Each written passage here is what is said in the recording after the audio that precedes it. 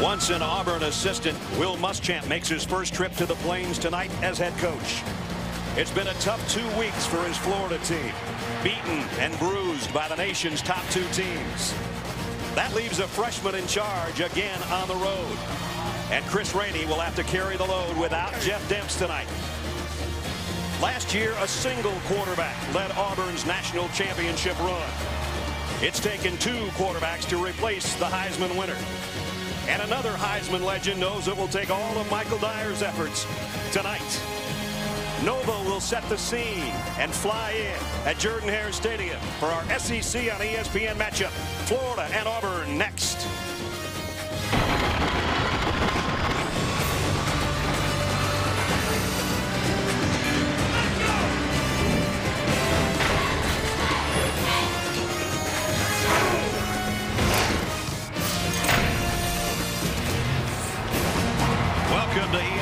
College Football Prime Time, presented by Hampton Hotels. A packed house at Jordan-Hare Stadium tonight for our SEC battle between the Florida Gators and the number 24 Auburn Tigers.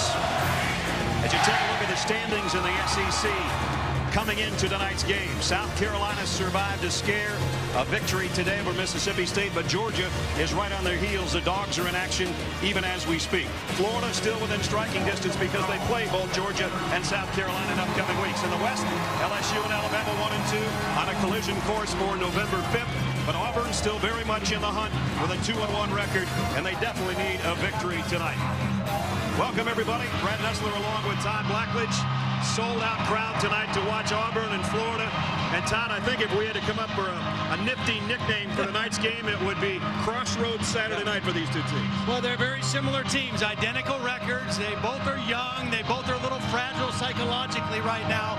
But if you look at who these two teams have left on their schedule, tonight is the defining game because the outcome tonight, I believe, will set the tone for the second half of the season for both of these teams. We talked about the similarities. They are both 4 and 2, and they both have quarterback issues. We might see as many as four guys play in that spot tonight. Yeah, and the crazy thing is, three of those four guys were playing high school football at this time last year. And because of that, both teams have struggled throwing the football. I think tonight, the key to the game, which pair of quarterbacks makes more plays in the passing game and doesn't turn it over to the other team. Well, the Auburn Tigers on their home field where they've won so many games in a row. Their fans excited, and the Tigers take the field.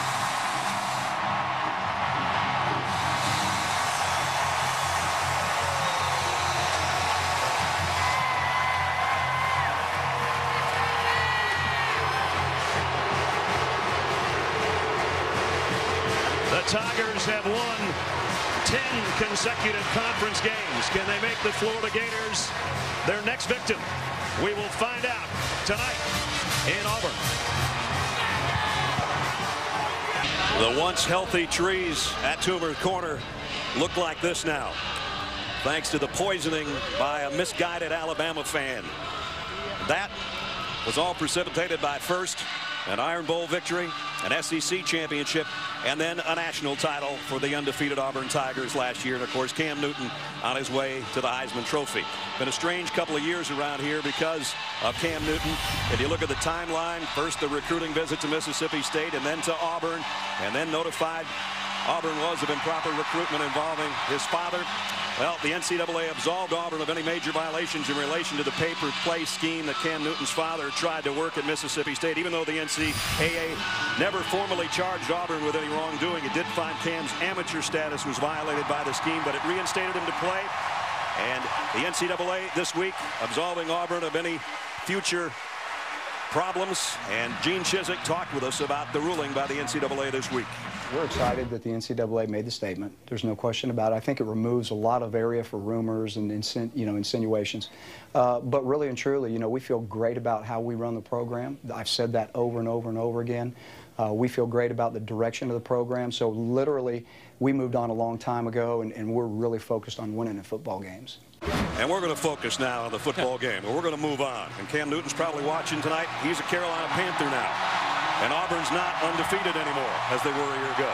But they do have a very big game at hand right now because these two teams both at four and two and wanting to stay in the hunt in the SEC. Yeah, I, I just expect that we are going to have a real fight here for 60 minutes because both teams are in the exact same situation. They've got to recover what's been lost already and set the tone for the second half of the season. Auburn won the toss and deferred, so that means Cody Parkey will be kicking away to Andre DuBose and Mike Gillislee. Again, Jeff Demps will not play tonight, and that's another problem for Florida because he's their speedster along with Chris Rainey. And there's Jeff on the sideline with no pads. So a heavy burden on Chris Rainey tonight without Jeff in the lineup. We're underway in the Plains. Kick will go right to the goal line to DuBose across the 20 and drag some tacklers out across the 30-yard line. So pretty good return as we check in. Third member of our team is Holly Rowe. Holly. Well, guys, as you can see, Jeff Demps on the sideline, not even suited up. I didn't see him come out at all for warm-up, so he's out for this game. That puts some added pressure on Chris Rainey, who's not only their leading uh, rusher, but their leading receiver. Charlie Weis told us it really hurts because they love to have the two speedy guys on the field together to make it tough on defenses. So look for Mike Gillislee as a backup to Rainey and even wide receiver Trey Burton, number eight. Not just a Wildcat quarterback, but also some running back time tonight. There's Rainey in the backfield behind Brissett. The freshman's going to toss it to him. And he cuts back inside and got about four. Let's check our impact players brought to you by Chick-fil-A. And the guy that Holly just talked about, Mr. Do Everything, Chris Rainey. Trey Burton, talk about a guy that's versatile. He'll play about four positions tonight. And defensively, Matt Elam, one of the leading tacklers, and he's got two interceptions on the season. So I think the guy that's got to come up big for Florida tonight is their tight end, Jordan Reed, number 11. He's in the slot at the bottom of the screen. Brissett pump fakes to the right. Plenty of time, and he's going to air it long. Man out there that's covered beautifully, and it's intercepted. T-Bell. Well, the bad news for Florida is that's way too late to throw the ball deep down the middle of the field by Brissett. The good news is it's just like a good punt because Auburn has the ball on the 10-yard line. So you, you don't want your quarterback to lose his confidence with a play like that, but it's not a horrible situation. He just waited too long to throw the ball down the field. When you want to throw deep, you have to get the ball in the air early. High school, you can get away with it. College, you can't. So now Auburn with the turnover at its own 10-yard line. Charlie Weis sitting with his freshman quarterback. Meanwhile, Barrett Trotter in the shotgun for Auburn on their uh, first offensive snap. And it's Dyer straight up the middle. And Dyer goes for about 13 on the opening run of the night. I think you're going to see Auburn try to go tempo early in this game, try to get a little fatigue on the defensive front. They have a lot of respect for the front seven of this Florida defense, but they've not seen a tempo offense yet this year, and Auburn wants to try to get that going early at the 33-yard line. Dyer now will rejoin Trotter in the gun, gets the call, trying to sweep the right side, and Florida will have none of that. Jelani Jenkins, the outside linebacker, on the stop. Michael Dyer's had three straight games of over 100 yards on the ground. And he has carried a lot of it. 62 carries in the last two outings. Well, I really think he's got to be a big part of their formula tonight to have a chance to win. I think he's got to touch it at least 30 times. I think Onterio McCalebb's got to touch it at least 20 times, and the freshman quarterback Frazier's got to run it at least 10 times. I'm going to keep you to those numbers. All right, that's 50. there's what you don't. There's 60. the number we don't need to see is flags, oh, right? Oh boy. Yeah. Hubert Owens, our referee. False start. Offense. Number 75. Penalty is five yards from the previous spot. Second down. Brandon Mosley, the right tackle. Well, Florida will be without a defensive end tonight, guys. Ronald Powell did not make the trip. He's out with an injury. So look for an undersized Sam linebacker, Lerentee McCray, to play that buck position. Also, we could see some William Green. But as you said, Todd, Auburn's going to try to wear down that defensive front. It really hurts that they're without one of their best run stoppers tonight. Auburn goes with a mini huddle. And on the end around is McCalebb. Terry McCalebb gets drilled out of bounds, but he did get five yards. As we take a look at our Auburn impact players, brought to you by Chick-fil-A, and pretty much right on cue. There's a guy that's got to handle it a lot tonight. Todd just mentioned it. Onterio McCalebb, Quindarius Carr. They need somebody as a wide receiver to come through with the injuries to their top two guys. He might be the man. And Lemonier had a good game last week. Four sacks on the season for Corey. For third down 13 coming up. And see, this is what we saw last week. The penalty that sets him back, it puts him in difficult situations for Barrett Trotter, third and long. And they're going to play it safe. Caleb trying to weave his way through. He won't get the first down, but he gets a decent gain of seven, and that'll force the punt. Gus Malzahn told me before the game on the field, he said, we're, we're going to try to win ugly. I mean, you know, they've got to do what they can do, and that is run the ball with Dyer a lot, try to stay ahead of the chains. They've got to be good on first down, They've got to have third and manageable situations for Trotter, and they can't have penalties that set them back. Gene Chizik says, and we got to play field position to have any chance, and that's why their punter comes in handy for him. He had one bad punt last week against Arkansas, but other than that, he's been brilliant on the season. As you look behind Stephen Clark, Chris Rainey waiting on the other end. High kick.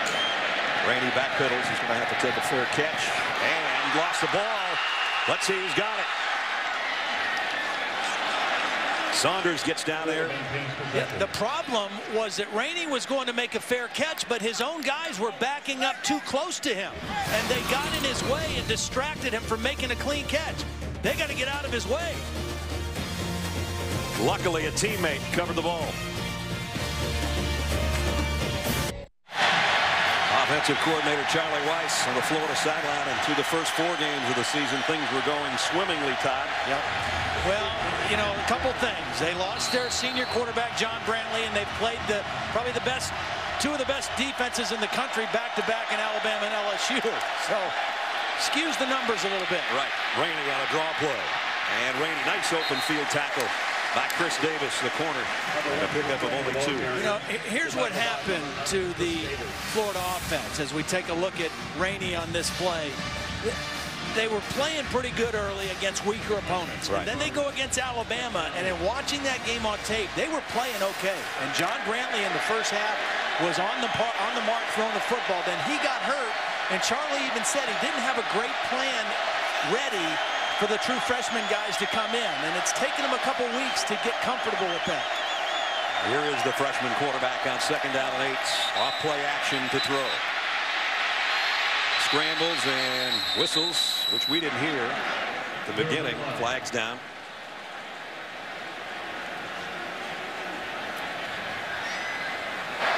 Before the snap, false start. Offense, number 11, that penalty is five yards from the previous spot. Second down. Florida's had way too many penalties the last couple of weeks, too. And that might mean Jordan Reed was the intended receiver, Tom. Yeah, well, he was anxious, a little over anxious. 11 catches coming into the ball game. He's a matchup problem. That's why I think they've got to find him early in the game because he's a big, rangy guy. Former quarterback, now tight end. There he is on the wing and in motion on second down at 13. Here's a toss sweep. Rainey with a blocker in front, but not enough of a block, that's for sure. Corey Lemonier with the stop and a loss of three. Well, in two times we've seen Chris Rainey lose the handle on the football. One on a punt return, and on this one at the end of the play, he's going to lose control of the football. Auburn does a nice job of maintaining the edge of their defense and stringing it out. But Chris Rainey better take care of that football. Because you can't, neither one of these teams can overcome multiple turnovers in a game like this. Gators are going the wrong way. Third down and 17, and the crowd lets them hear about it. Frankie Hammond in motion. Brissett Fires near side, complete, but short of the first down.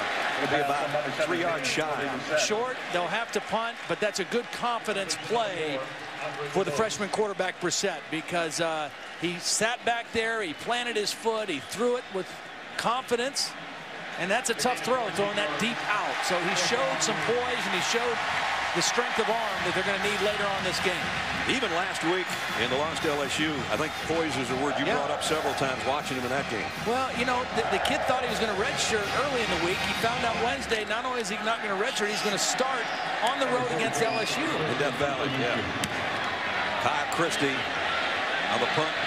Quan Bray, the freshman on the return, broke a tackle and got about 10 out of the return.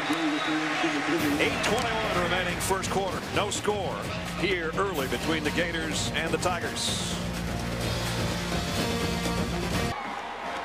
ESPN's College Football Primetime is presented by Hampton Hotels. At Hampton, we love having you here.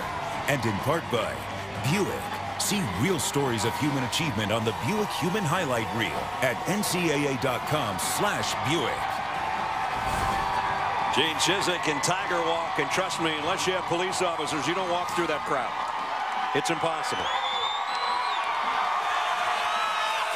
And right now, as we talk about Gene Chizik talking about field position, a key to the game, Auburn gained about 21 yards on that last change of possession with Florida going backwards and having to kick it.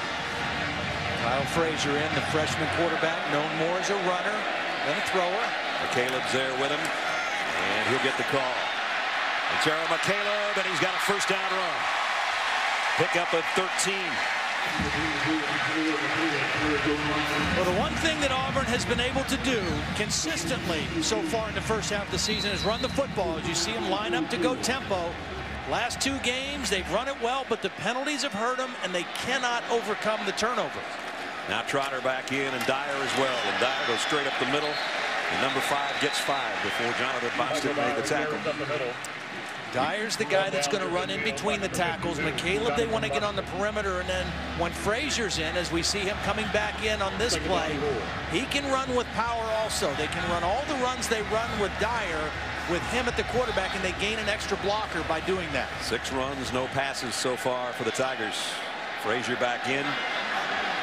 Dyer behind him gets the call, and Dyer's got another first down. And now they can continue to stay, as Todd said, ahead of the sticks, move the chains, go quick tempo if they choose, and they bring Trotter right back out. So it's quarterback every other down right now. Tempo with changing quarterbacks. That's not easy to do. First down inside the 45 of Florida. And then Dyer again. This time the Gators stop him after a short gain. Picked up two. Omar Hunter part of the tackle along with Floyd. Not surprising that Auburn is coming out running the football.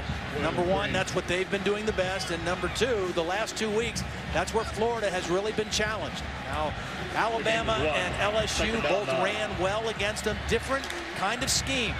More of a power offensive line, more of a zone scheme. Trotter fakes the end around, loads it, and goes deep. Overshot everybody. And it was Quindarius Carr, his intended receiver. Tell you what, Barrett Trotter again, when you throw deep, it's not good to throw late. I think he had the crossing route on this. If he would have just checked it down to his next read, he might have gotten a big play on the crossing route. He was going for the home run for the touchdown and missed the crossing route. It could have got him a big first down. So that's third down and long. McCalebb with Trotter in the gun. And it's Carr in motion. Looks to his right and now scrambles for time. Trotter finally throws and it's out of bounds and complete. Intended for Jay Wisner. incomplete. Fourth down. One of the things that Florida will challenge this Auburn team with, especially without Emory Blake, is they they play more man coverage in their secondary than anybody Auburn's face. And, and with Blake on the sidelines or probably unable to go, they're going to really challenge them. They're going to get up in their face. They're going to disrupt the timing, and they're going to force Barrett Trotter to make tough throws against man coverage. If you want a guy to knock one inside the 10, here's your guy. Yeah. Stephen Clark's done it 11 times in the last two games. The last two games. And leads the SEC in that capacity. Gets this one a mile in the air. And the fair catch taken for, and again, a little bit of drama from Chris Rainey at the 14-yard line. Florida offense goes back to work with 6.22 left in the quarter when we come back. You're watching the SEC on ESPN. Brad Nessler, Todd Blackledge, Holly Rowe, Jordan-Hare Stadium in Auburn. Tigers defense out there against Florida at the 14-yard line. I think Florida needs to throw on first down for this young quarterback. Play action stuff. Rainey and they drag it out, and he's dropped for a loss of a yard. Jake Holland, the middle linebacker, made the stop for Ted Roof's defense. Well, this Auburn defense under the direction of Ted Roof, the, the numbers are not very good. I mean, uh, I think they have made some improvement. They've played a lot of young guys. They've tried to simplify some things, but they've also played some pretty good offenses. I mean, Clemson is a, in a great offense. You know, yep. uh, they did well against South Carolina. Then last week, Arkansas, maybe the most potent offense in this SEC as well. Second down and 11. Rainey again. Trying to get to the second level. They're not going to let him get there as Kenneth Carter came over from his defensive line spot to make the stop. It's it's a lot easier to be a great defensive coordinator. You got Nick Fairley and some yeah. of those guys they had last year. That helps. That helps. When you can pressure the quarterback with four guys, you can be more creative in the back end of your defense. They don't have that right now. They're looking for a stop here on third down and four. Last two weeks, Florida has been six for their last 25 on third down. Uh, young quarterback, good defenses. This is a manageable down and distance, though, four yards. Auburn shifting on their front. They come with a blitz. Brissett fires high. And the blitz may have gotten to him a little bit. DuBose was the intended receiver, and Holland made two big plays in that series. Yeah, Holland timed up the blitz perfectly. I mean, he's watching the center. He's watching for the movement.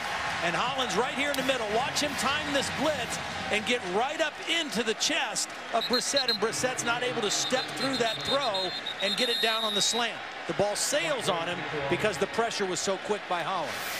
And a perfect hit as he got it right in the chest with a shoulder. Didn't go to his head. Forcing the kick. Second straight three and out for the Gators. Christy to punt. Movement. They're going to go back five more. The gunner here on the bottom was too early and taken off. I think that was Purifoy. Before the snap, false start. Offense, number 15, five yards from the previous spot. Fourth down. Well, they back it up further. And now Christy's going to be punting near his own goal line. Yep, there's the early movement, trying to get a jump. And, and, we talked about Auburn playing field position. They they stand to have excellent field position here at the exchange of this punt. High snap. Christy gets it away. Quan Bray going to have to backpedal. Christy got all of this, baby. Never mind. Wow. Never mind is right. All the way back near the 17-yard line. Nice kick, number 44. 450 remaining first quarter scoreless here. Let's see what else is going on. We check in with Reese Davis. Maryland's up on Clemson. Couple of undefeateds are defeated now from the Big Ten today as Michigan and Illinois both bit the dust in Big Ten play. Now Frazier in at quarterback to start the series here. And he's going to keep it on the zone replay and picks up three. That'll bring up second down and seven. So the field position was going to work until Christy hit a 67-yard punt. That'll mess it up for you. One of the things Auburn likes to do is they like to they run zone read, they run counter plays, and they also run the speed sweep, and they read that as well. So the quarterback can either give it to McCalebb on the sweep or keep it and run inside, which he did that time. Fake it to McCalebb. No, they give it to McCalebb, and he's dragged down almost a horse collar tackle there, but no penalty. and Another loss. Nice play by McCray, the outside linebacker. Negative play created by the Florida defense, and you know under Will Muschamp and coordinator Dan Quinn, they're going to be aggressive. They're going to try to attack the line of scrimmage, and it sets Auburn back behind the chain. Third and 10, not a good situation for this Auburn offense. As Dan Quinn, the defensive coordinator, yelling instructions from the sideline as Auburn going in the wrong direction as well. Third down at 10 for Trop. Waiting and maybe waited too long as he's hit as he throws by Sharrif Floyd. And the fans are just a little bit restless right now. They're not really booing, but they're not exactly cheering the Auburn offense. Trotter's 0 for 3 throwing the football. Well, again, the problem is what they needed on third down. They're trying to max protect. You see, they keep McCalebb in. They want extra blockers, so they're releasing fewer receivers. And the problem is they don't have a go-to guy. Emory Blake is on the sideline. He's their best guy. And Barrett Trotter nowhere to go with the football in that one. Clark in to kick. Rainey's back deep. Rainey with a couple of career punt returns for touchdowns. And again, high punt and dropped by Rainey. Scooped up by Auburn. No. They got to spot it. You can't pick it up on the muff. It could be Auburn's football. I thought they did not give him enough room to catch the football. There was no flag for a halo infraction. I thought they got too close to Rainey as he was trying to make the fair catch. And I think that's what Will Muschamp is complaining about as well. Was the fair catch called for late, too? That's another question. And the officials have given no direction on whose ball it is. We just know it's spotted at the 32. So Hubert Owens is going to straighten it out, hopefully, for us right here. During the play, the kicking team recovered the, the scrimmage kick. By rule, they cannot advance it. It is first down to Auburn. Auburn's got the ball. Yeah, I, I agree that it's Auburn's ball, but I don't think they gave Rainey enough room to catch the football. And Onterio, I think that's what Will Muschamp is yeah. saying right now. Onterio McCalebb was the first guy down there. It was a late signal on the fair catch, but McCalebb has to give him room. And he almost bumped into Rainey as he was trying to catch the football. It certainly distracted him. I think you're right, and I think Will Muschamp has a gripe right there. That's a huge play. And it gives Auburn an opportunity at the Florida 32-yard line. And Will is still letting them know and did he take a timeout? Muschamp took a timeout.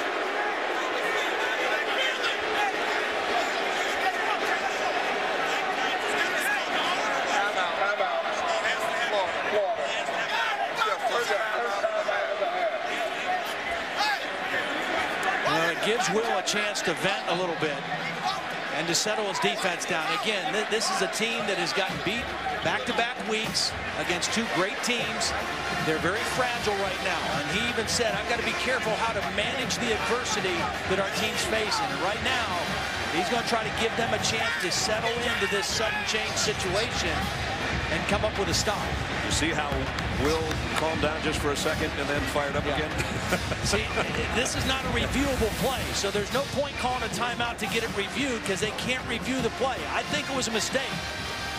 But the, the reality is it's Auburn's football in Florida territory, and the Florida defense has to respond.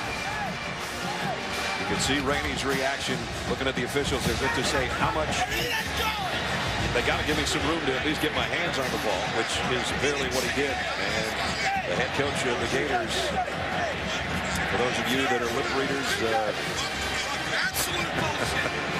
enjoy the rest of the night because Will's not done yet. Well, he earned the nickname Coach Boom, Boom yeah. when he was here as a defensive coordinator earlier in his career. Guys, guys, I did hear the umpire say to him, if you'll calm down, I'll tell you about it. Will Champ, Muschamp was unable to calm down. They didn't give him a great explanation, but they were explaining to, to the special teams coach that he has to be given an opportunity to catch the ball. They felt he was given the opportunity. That's what I heard the umpires telling him. The end of the night could be a huge play in this football game, but we got a long way to go here in the first quarter. Trotter gives it off to Michael Dyer. Dyer just bulldozes his way for about seven yards before Omar Hunter finally pulls down number five. Dyer is not quite as big as the two backs that Florida has faced most recently. Trent Richardson ran for 189 yards against him from Alabama. Spencer Ware for LSU, not as many yards, but a big, powerful guy. But Michael Dyer is built low to the ground. Very hard guy to tackle. Runs with a real low center of gravity. And he's going to take it in the Wildcat right here on second down and three. And he'll just keep it after faking the handoff to McCalebb. But it goes down before he hits the line of scrimmage. Nice job by the Gators defense. Yep. Big early play right here in this ball game for the Florida defense. Sudden change. They forced a third down situation. They forced the ball back into Barrett Trotter's hands and potentially out of Michael Dyer's hands. And if they get a stop here on third down and force a field goal attempt or maybe keep them from any points, Will Muschamp can calm down a little bit on the sideline. I would throw the ball to Onterio McCalebb here. Try to get him the ball quickly in space and see if he can make one guy miss for a first down. Whoops, might not have to. Florida, did they jump? Might be a free play. And a jump ball in the end zone. Touchdown. DeAngelo Benton in the corner of the end zone.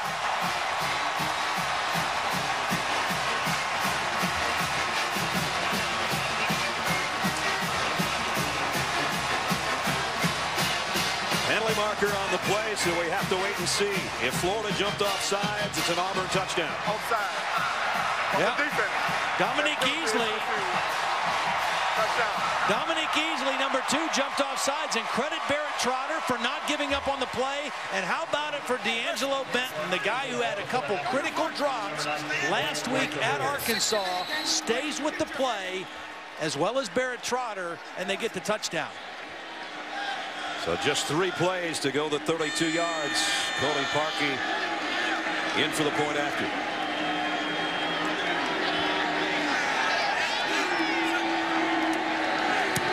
And it's 7 0 Auburn. And as we said, a critical call on what Todd thought should have been Florida football. Instead, Auburn touchdown. Well, Dominique Easley is going to jump. The whole line's going to stay there, but Barrett Trotter doesn't Lutzen blocks for him. Benton stays with it, goes up in the air, and Auburn has the lead.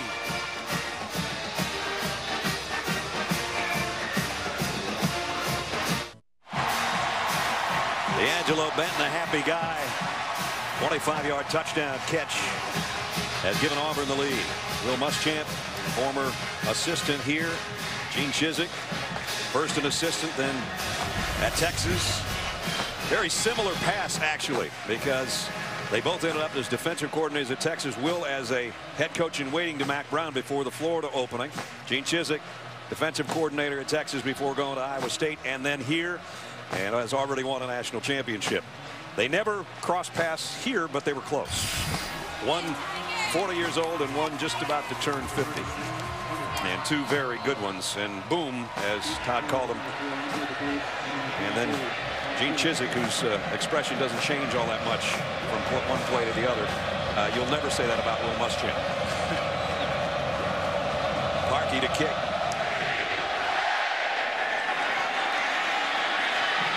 At the two-yard line, DeBose. And he spins his way across the 20. And hopefully isn't hurt. Gets up slowly as we go quickly to Rece Davis.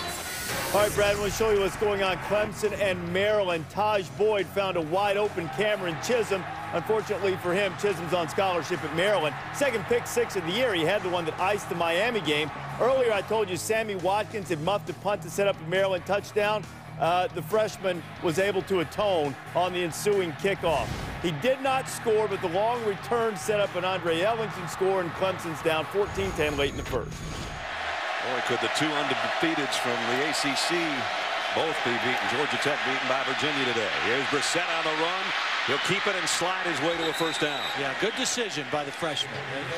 Florida needs to get some momentum. They got to get something going offensively. Nice play action pass on first down, a safe play, a bootleg, and he saw a lot of green grass, made a good decision to run for the first. That's the Gators' first first down. Up until that point, they'd had eight plays for 22 yards.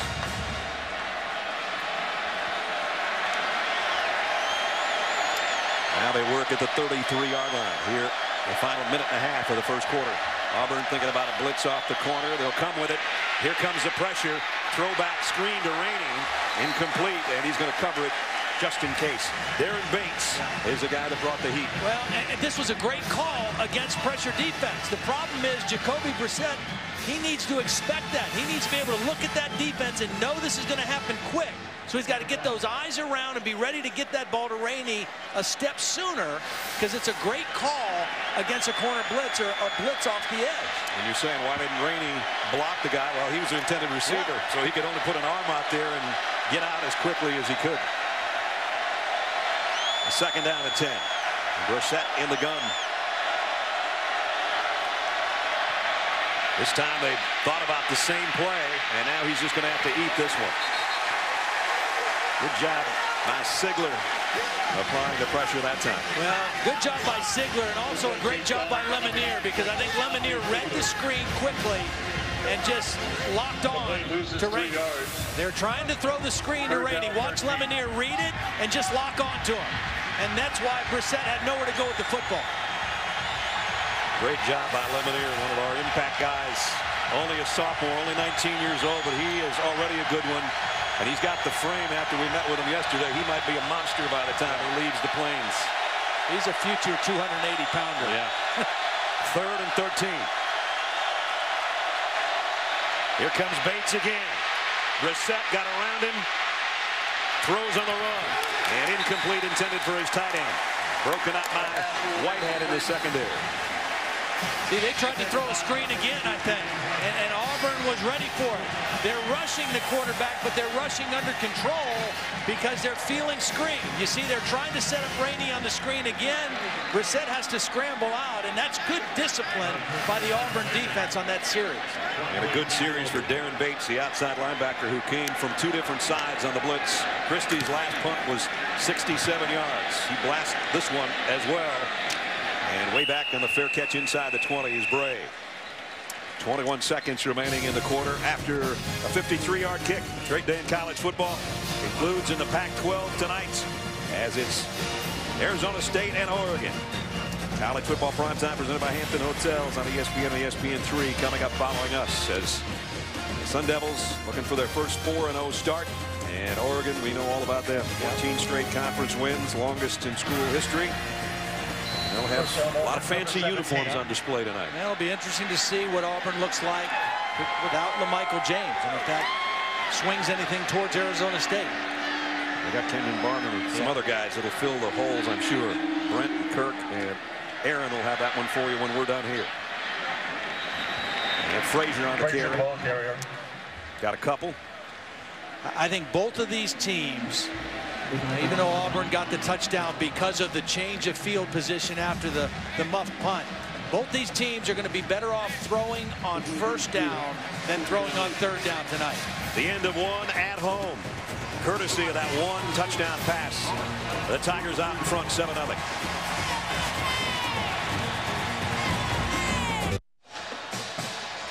Take a look at our mock BCS standings brought to you by Discover Card. Won't come out until tomorrow night.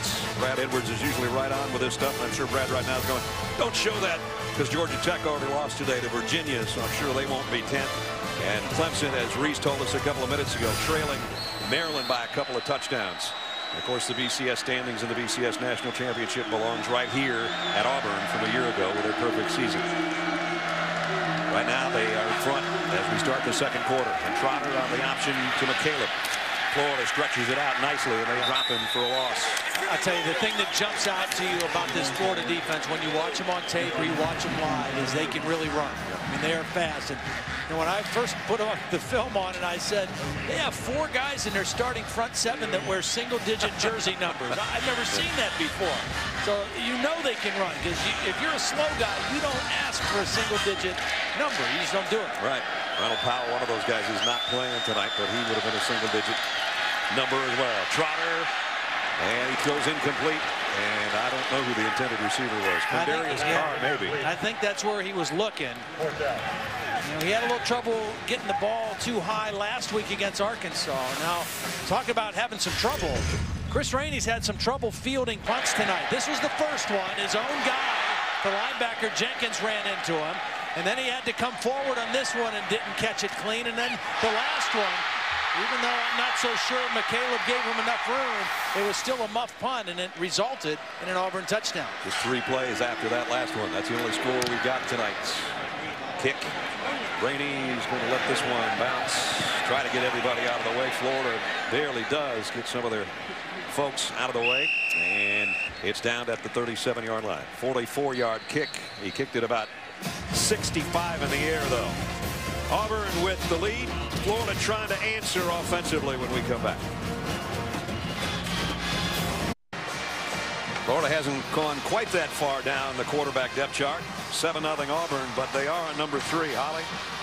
Well, Jeff Driskel injured his left ankle last week and was unable to play, but he is on the sideline. He's been cleared to play. And when we spoke with Charlie Weis yesterday, he said it might not be the first quarter, obviously now that it's passed, but it could be as much as the fourth quarter. But he's right next to Charlie Weis. Everything he's calling in, he's checking his wristband. He's very involved in the game plan. And if Brissett continues to struggle like this, guys, don't be surprised to see Driskel, who was the number one rated quarterback coming out of high school last year. Brissett goes out, and yeah. Trey Burton, Trey Burton is going to play quarterback in this particular snap at least. As we mentioned, Mr. Versatility plays a lot of different spots. And on this one, he hands off to Gillislee. He got a decent game, picked up five. McNeil with a tackle. Trey Burton, a much better runner than he is a thrower when he lines up at quarterback. So Auburn's defense has to kind of lock in on option, quarterback runs, quarterback powers, but still be cognizant of the speed of Rainey. Of course, Burton, the guy that had a dream game against Kentucky last year with six touchdowns. Here he is on the option, pitches ahead to Rainey, and he's got the first down, little shovel pass. Yeah. So that one's going to go as a completed pass and pick up a eight. You know, when they put Burton in, this looks like the Florida offense from a year ago. It's not much different. Option, shovel pass, quarterback runs, and right now, Charlie Weis is just trying to manufacture some offense. He said, we got to score some points. They yeah. scored 10 against Alabama, 11 against LSU. That's not good enough to win in the SEC. Charlie says he thought that there was actually progress made between these two, those two games. He said the scores wouldn't be indicative of that. But here's the pitch to Rainey on the corner. Wow. Lemonier tried to get him, and you saw that extra burst of speed. What a great play by Trey Burton, and there's going to be a 15-yard penalty tacked on at the end of it, I think, for roughing the quarterback. This is a corner blitz, and Trey Burton gets rid of the pitch right away in the face of this corner blitz, and I think it's going to be an illegal hit to the head by the cornerback who was blitzing on the play. That was an incredibly effective play by Burton, the awareness to get that pitch out of there before the blitz hit him. Personal foul on the defense, number 27. Contact to the quarterback above the shoulders. 15 yards from the previous spot, automatic first down. Parisi with a penalty.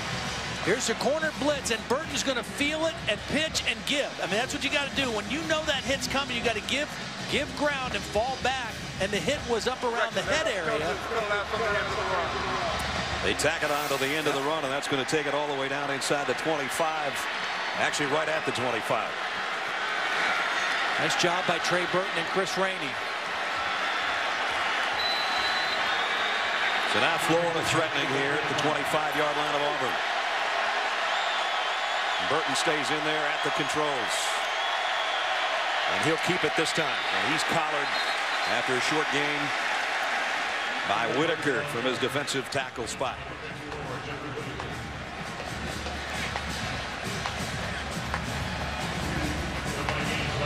Second quarter with 12.35 remaining. Auburn on a 25-yard touchdown pass with the lead. But Florida approaching the red zone right now.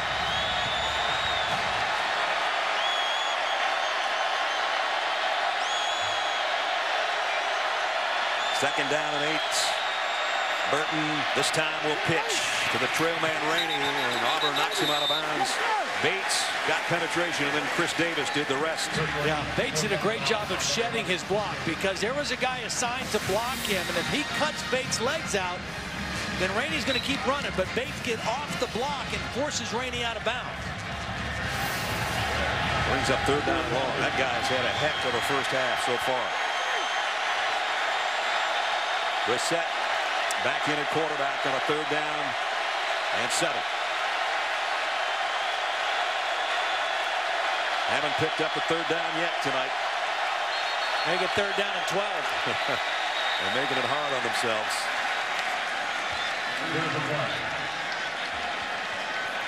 Yeah, right tackle Matt Patchan jumped early. False start. Offense. Number 71. Five yards from the previous spot. Second down. Correction. Third down. Florida near the bottom of the SEC. Their third down conversions. You know, part of that is playing two freshman quarterbacks. Part of that is playing two great defenses in Alabama and LSU. And part of it is just like here, penalties that set you back at third and 13. Yeah, that's difficult to convert against any kind of defense in this league. You don't have one of your key weapons. Jeff Demps. It's been all Chris Rainey so far tonight. Brissett under center. I think they called a timeout from the sideline. Will Muschamp called a timeout before the snap. Timeout. Florida. We'll take the timeout as well. Brissett can talk it over with Charlie Weis on the sidelines. Florida trailing by a touchdown. ESPN's College Football Primetime. Brought to you by Bud Light. It's the sure sign of a good time. Here we go. And Lexus. It's time to engineer amazing. The Tigers. or Eagle. Toomer's Lemonade. Hadn't had any this trip. Usually I do. Third down and 13 coming up for Florida. Tell you what, if they're in man or a blitz, I'm looking to get the ball to Chris Rainey. If they show a cover two, I want to get somebody down the middle of the field and see if we can split the defense. We'll call it third down on a long 12. How's that? Thompson in motion. Brissett in trouble. Going to try to scramble around and see if he can pick up blockers, and instead he got tattooed. And now we got a little extracurricular play after the whistle. I don't see any flags, though. Apparently officials are going to let it go. Bates in the middle of everything again. One of the problems with a young quarterback, it's hard to get them to be patient to read progressions. Lemonier, a great upfield pass rusher, is going to get the first pressure and force Brissett up in the pocket. And you see him tuck that ball right away. As soon as he felt pressure, his second reaction was to tuck the ball and try to run. Caleb Sturgis will try a 47-yard field goal, and it is perfect. Nice kick, and Florida on the board. Looking for seven, they have to settle for three. With 10.28 remaining in the half, Auburn 7 and Florida 3. And right now, let's take a look at our taste of the town with my partner, brought to you by Expedia. Growing up in the home of George and Mary Taylor, or Panny as she was nicknamed, kids and grandkids learned about love for God, love for family, and a love for Southern home cooking. Now, what started as something they would do for neighbors and weekend plate sales became a full-time Auburn restaurant in 2005, and it's called Panny George's Kitchen. Thank you. Oh boy, and I can only imagine.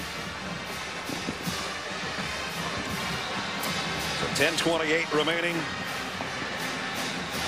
in the first half.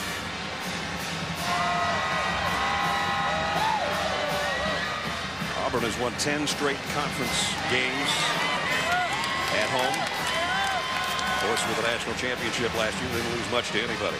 Florida, that drive, just 33 yards and seven plays, took 341 off the clock.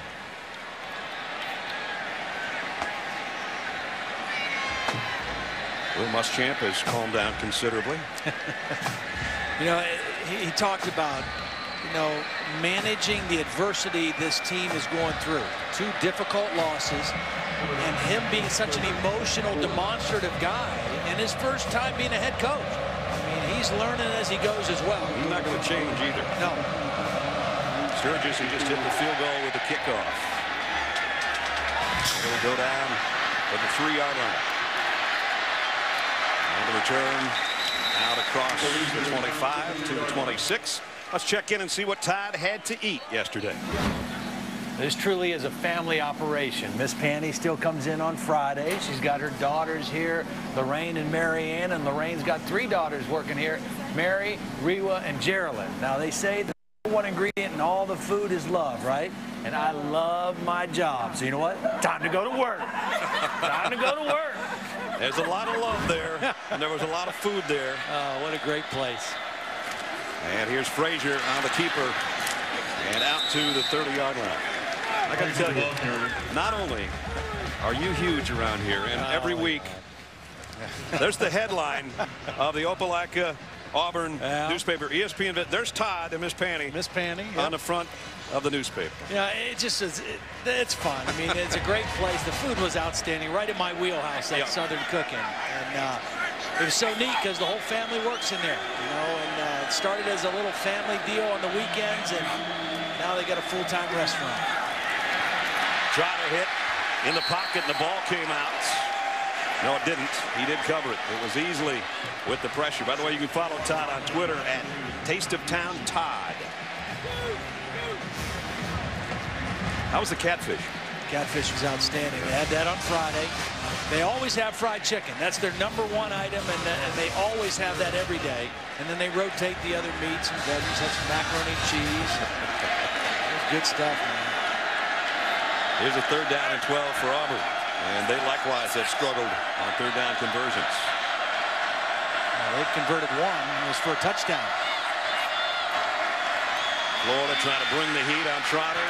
And it was set up to be a screen pass, but McCalebb never got out there. Somebody leveled him, William Green, with a pressure. And Auburn's got a kick. Gus Malzahn talking with his quarterback. You know, it's, it's hard to say.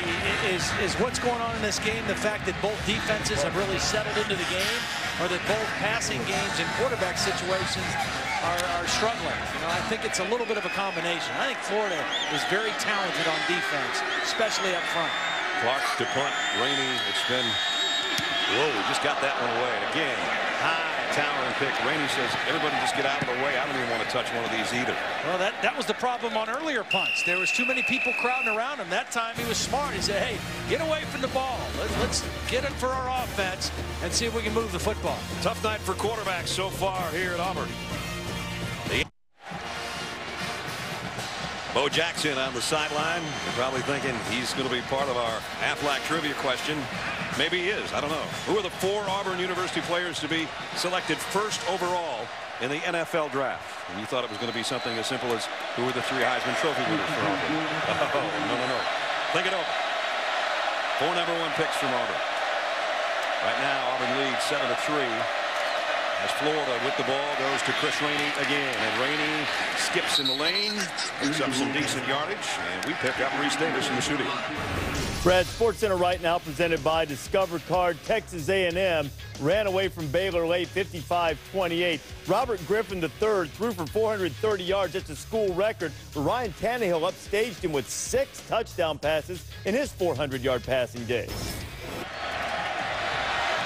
A&M after some demoralizing uh, losses after having big leads today, they hold on to one. Learned to finish today. Yep.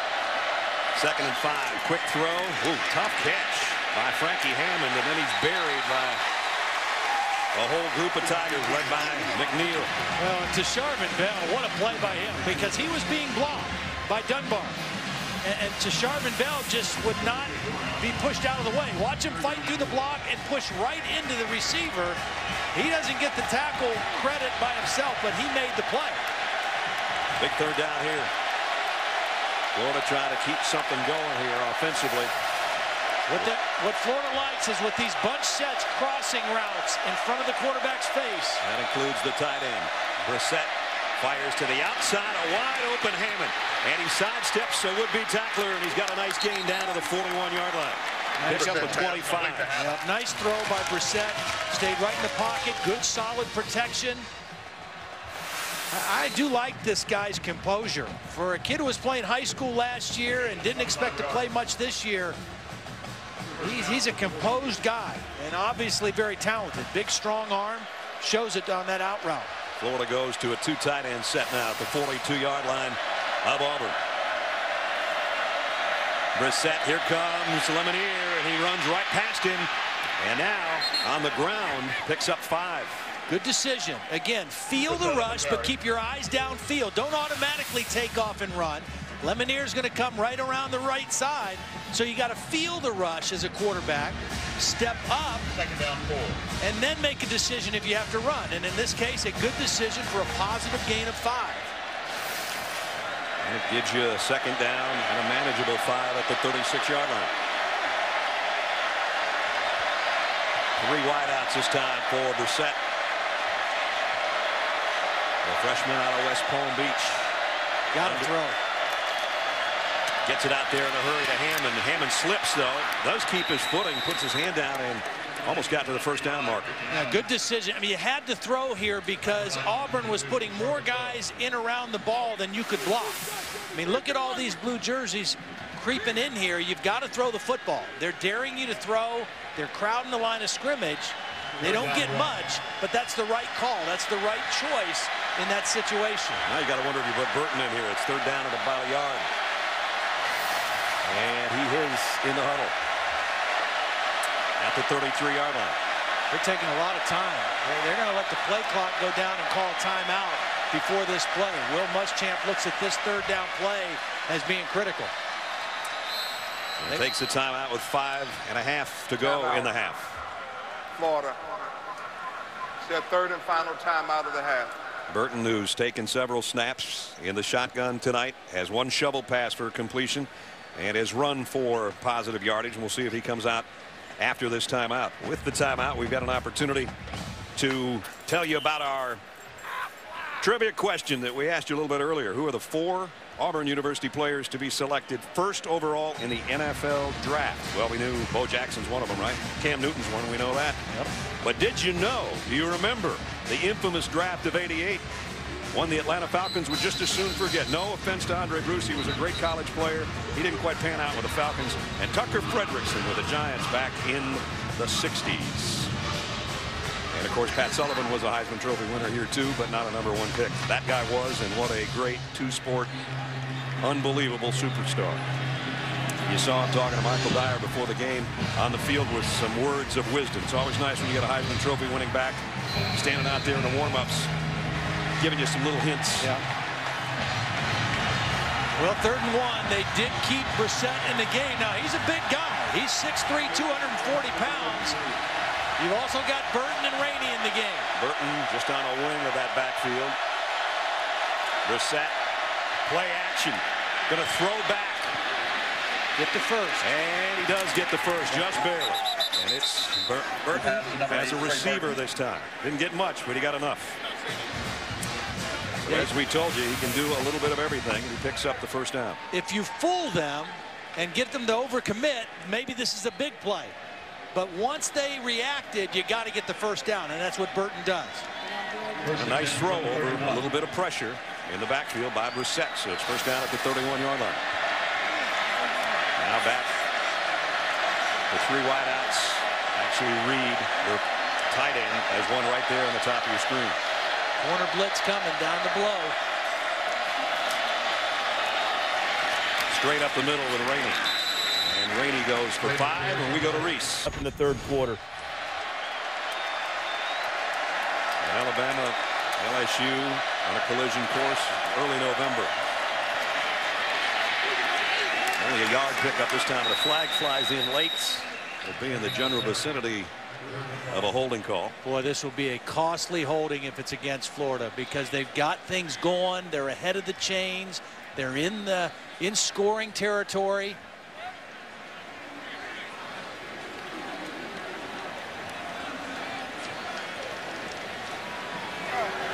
Personal foul on the defense. Face mask number 21. That penalty is half the distance from the end of the run automatic first down. So it's not against Florida. Yeah. It's a big one against Freeman, the middle linebacker. Well, and it wasn't on the tackle. They called the penalty on Freeman, and he was tangled up with a blocker. It, it wasn't in making the tackle that the face mask was called. Here he is right here. Kyle Coney. And you're right. So a costly penalty on Auburn. At the 13-yard line.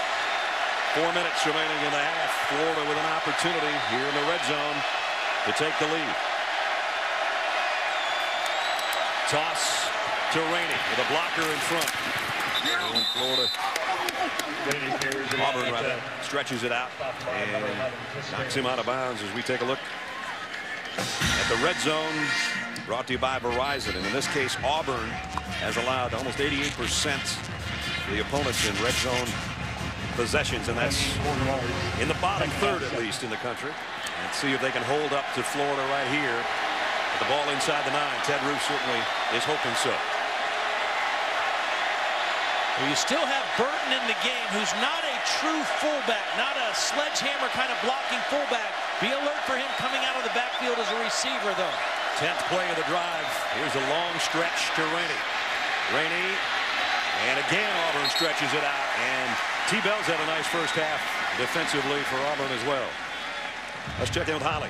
Guys, just watching the body language right now of the running back for Florida, Chris Rainey, he has had that great one-two punch with Jeff Demps coming in to spell him, and right now he looks tired to me, guys. He's had a lot of action in this first half a lot more than he's been used to through the course of the regular season. Well, he's not the biggest guy in the world, you know, 175 pounds maybe. I'll tell you, he's tough, though. Now, they can spell him with Gillislee. I mean, that's the other guy they have because they ideally like to have Demps and Rainey on the field at the same time to put that speed threat. He's out now.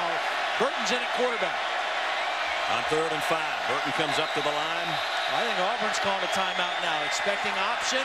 Want to make sure they're set on this third down. Well, they had one to burn with 2.44 to go, that's for sure. Trying to prevent Florida from taking the lead. Timeout. We've been talking all night about Chris Rainey having to carry the load without Jeff Demps. Holly talked about it a minute ago. He's had a busy first half already.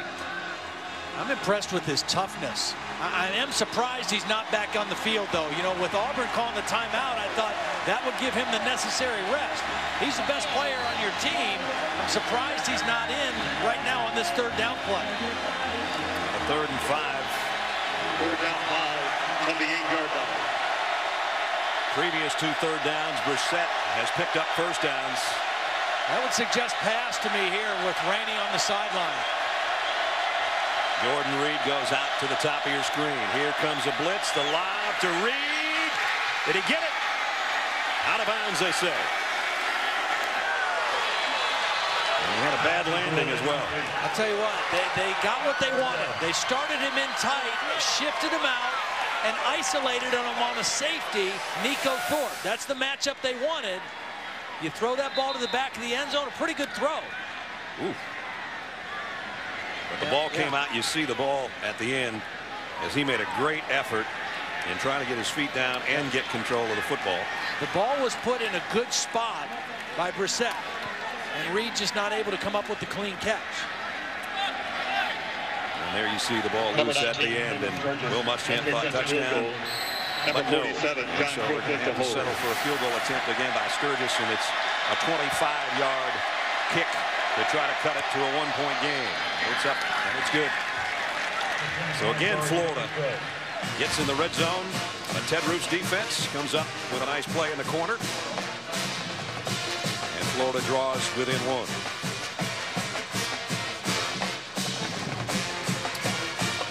Reminder coming up tomorrow night. Rece Davis, who we've heard from several times here in the first half already, and Kirk Herbstreit and Craig James. They'll have the BCS countdown tomorrow night. They'll unveil the first poll and analyze who are contenders and pretenders. BCS countdown presented by Discover tomorrow night, 8:15 Eastern, continuing on ESPNU at 9 o'clock. And we showed the mock BCS standings tied a little bit earlier, and you've got to know that uh, Georgia Tech won't be 10th yeah. after losing today. Clemson and Maryland are playing right now, and if they lose that, they're not going to be in the top 10. Yeah.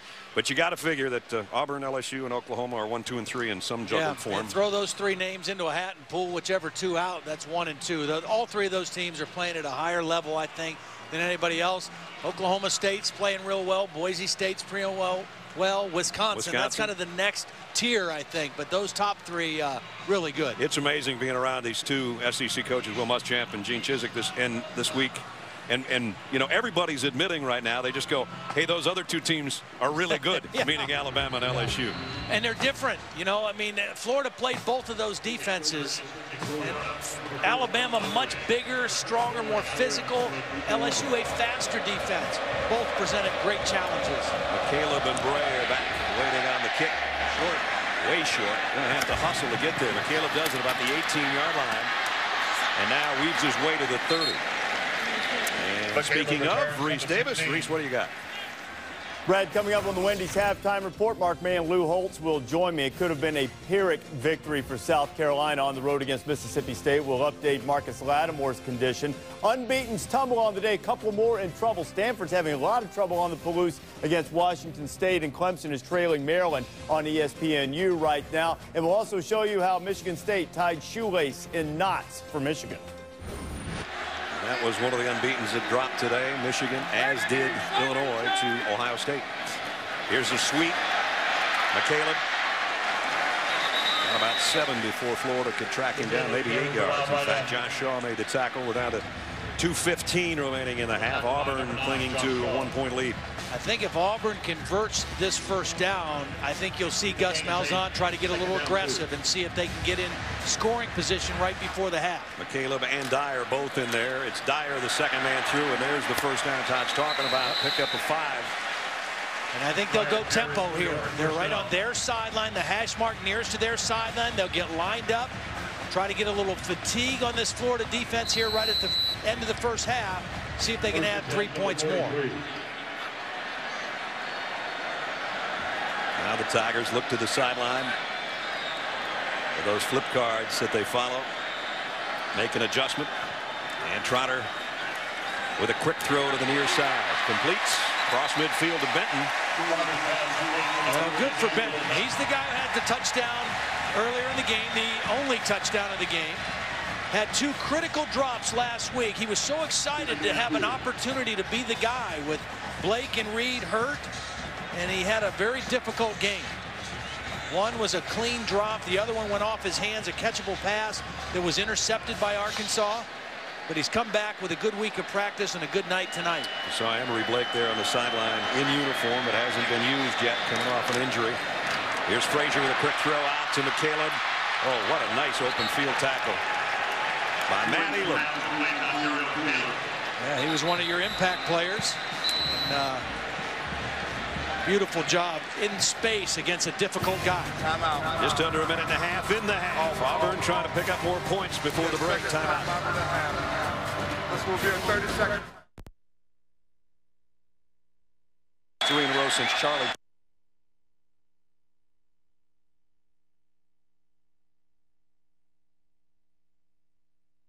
A face mask. A late face mask call that's going to give them a first down. They had him cleanly stopped on third and short.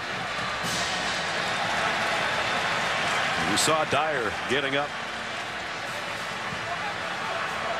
Personal foul on the defense. Face mask, number six. 15 yards from the previous spot. The penalty carries an automatic first uh, down. Sorry about the technical difficulties we had there for just a minute, but Jaye Howard with a face mask on Michael Dyer has given Auburn new life. When it looked like they had him all wrapped up, they yeah. did. It would have been a loss on the play, but you saw number six in the face mask of Dyer, and now that moves Auburn all the way down to the 34-yard line of Florida. Trick play potential. You got McCalebb well, oh, they tried to run Fumblerooski, yep. and they weren't able to pick up the ball.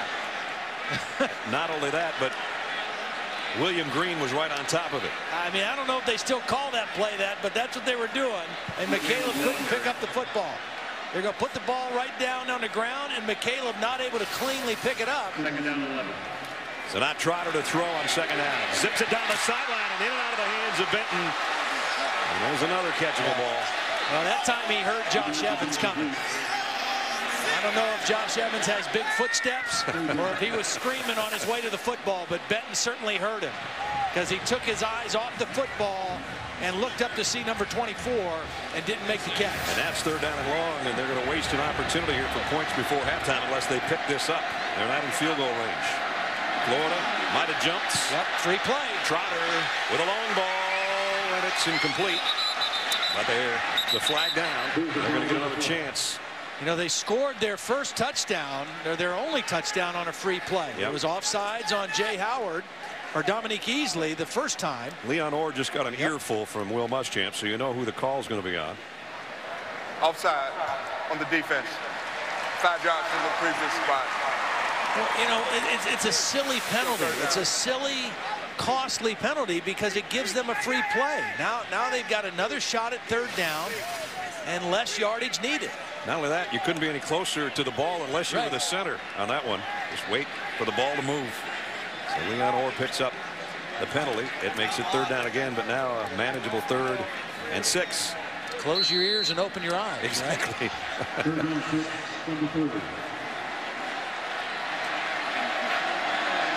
They almost jumped again.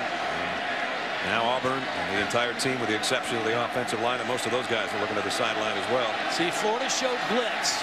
They showed pressure, and that's why they raised up and changed the play at the line of scrimmage. Let's see if Florida checks. They're going to check out of it. Going to have to hustle though. They barely got the snap away. It's a draw play to McCalebb.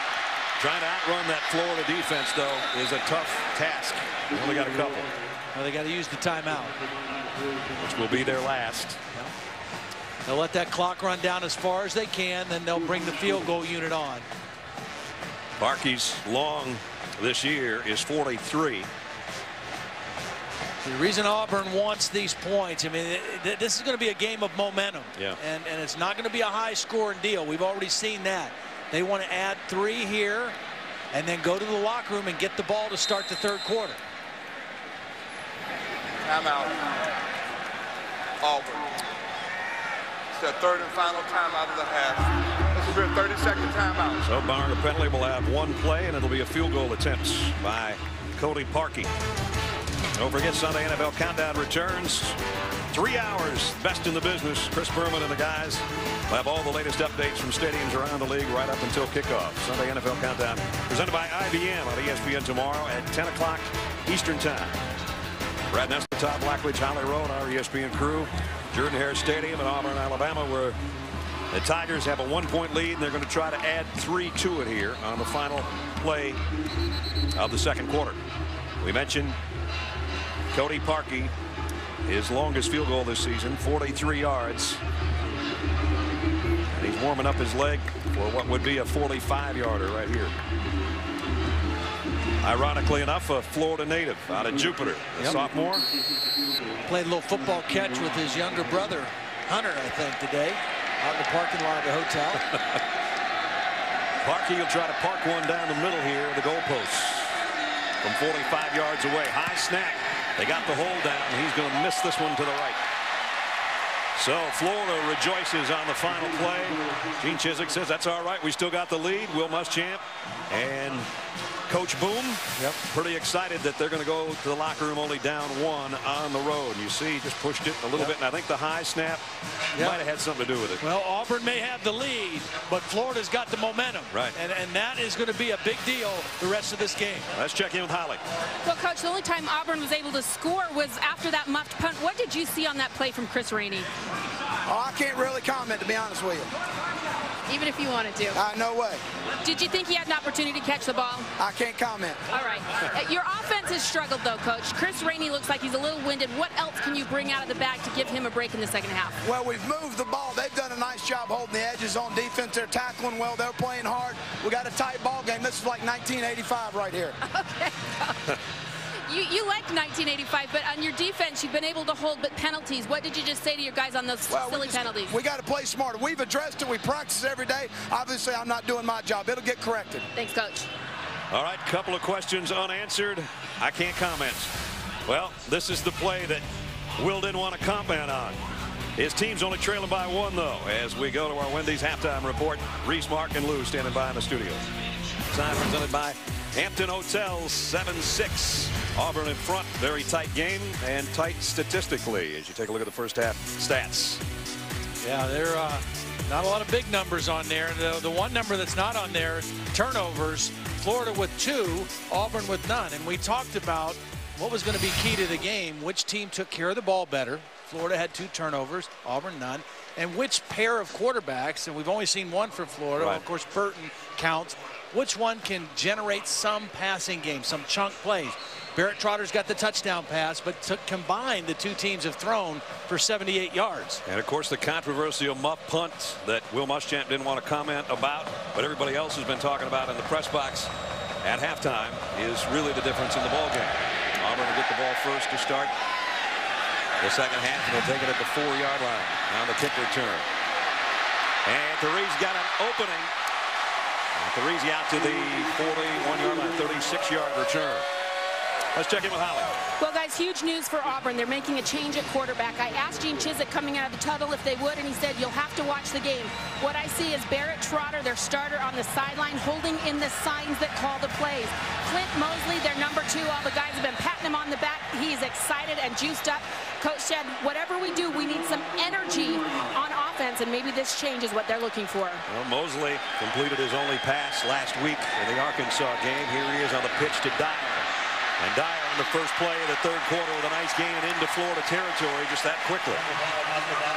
Well, you, you got to get something going in your passing game. You're not going to be able to just run the ball down the throat of this Florida defense. You're not as strong physically as Alabama and LSU up front to do that. you've got to mix in and get some chunk plays passing it, and they're hoping Moseley can do that. And here he pitches it to Dyer. Dyer's going to try to change direction, come back the other way, and he'll lose yardage.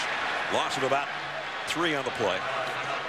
Lerentee McCray did a nice job of turning that play back inside. As Holly mentioned at the start of the game, McCray playing an outside linebacker defensive end type position because Ronald Powell is not here.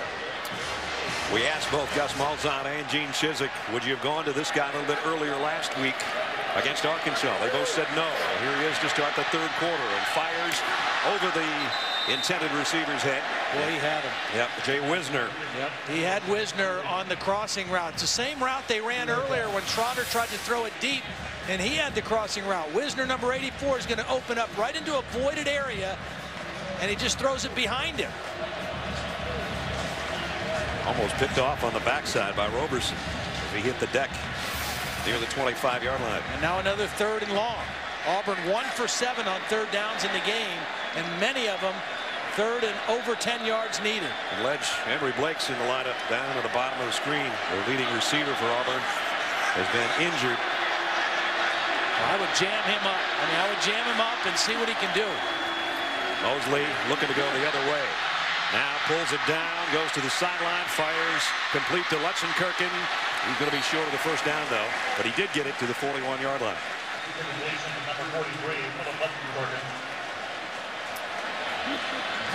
Barrett Trotter, we talked to him yesterday, and it seems like his confidence was a little bit shaken even Yeah. in our meeting Yeah, from all the did. hits he's taken in the last few weeks. You know, his left shoulder's banged up. Really, you know, he played exceptionally well early in the year, and then, you know, well enough. First half of the Clemson game, he played really well, and then really starting from the second half of the Clemson game, things started to go in the other direction for him a little bit. Steven Clark again to punt. Again, he leads the SEC and punts inside the 20. Trying to knock one down in the corner. It's going to go out of bounds near the 15, somewhere around there anyway. Let's see where they spot it. Oh, they're going to come up the sideline to the 18-yard line. Well, let's see if we see Jeff Driskel at all in the third quarter from the Florida side. We've seen the new Auburn quarterback.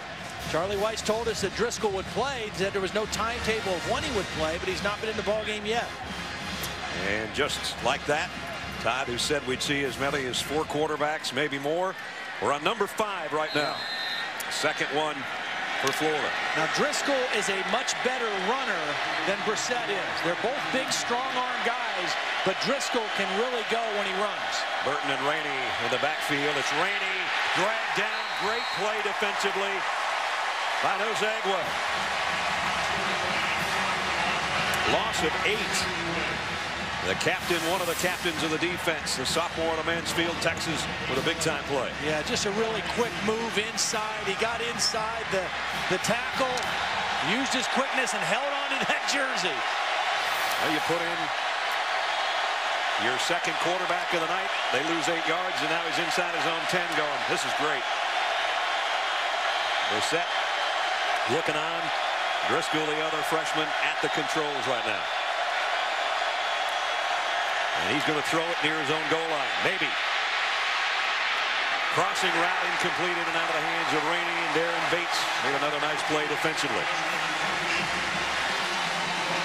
Well, the thing that Jeff Driskel has to guard against right here is he's excited to be in the game.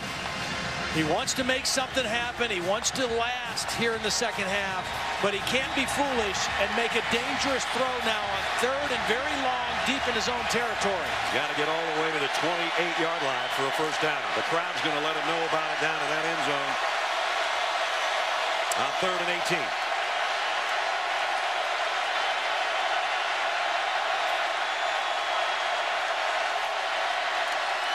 They'll play it safe on a draw play.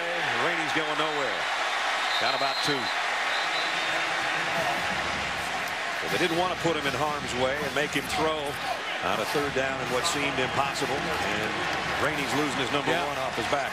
Yeah, we're, we're past the age of the tearaway jerseys. My man's got a tear, tearaway number. But I'll tell you what, even if that one comes all the way off, Auburn's defense is going to know where he is. Yeah, I think so. Christy dropped the ball trying to punt it, and now it's off the side of his foot.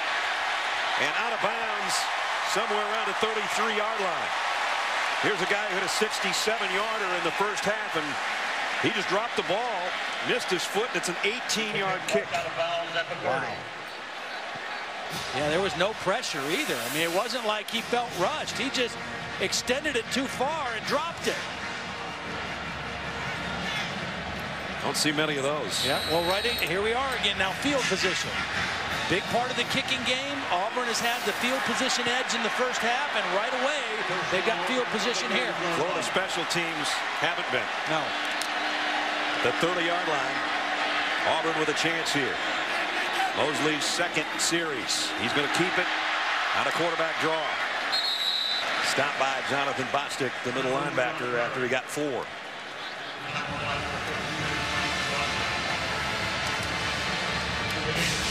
Florida can't keep giving Auburn gifts and expect to stay in the ball game. Only trailing by one, though, here in the third quarter.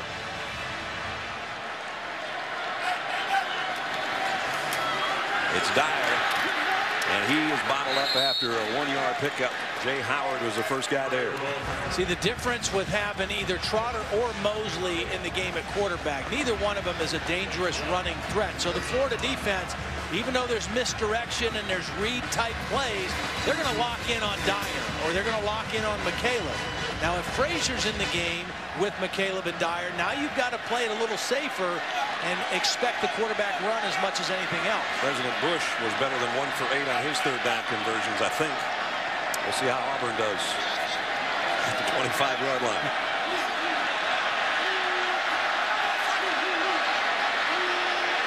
Gonna have to hustle just to get the snap.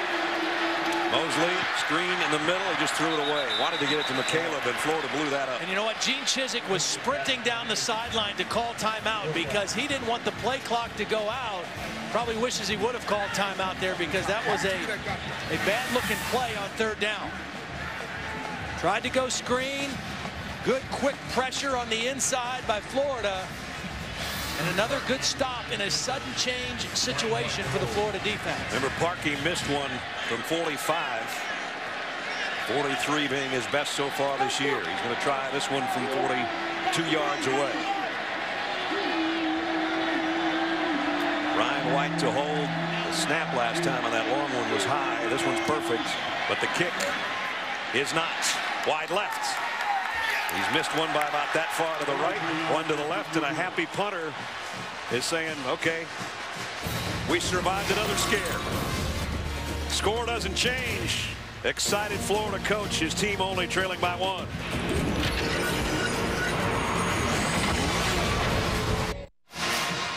Good one coming up behind us tonight. Brock Osweiler and the uh, Sun Devils take out Darron Thomas and the ninth-ranked Oregon Ducks. College football primetime presented by Hampton Hotels.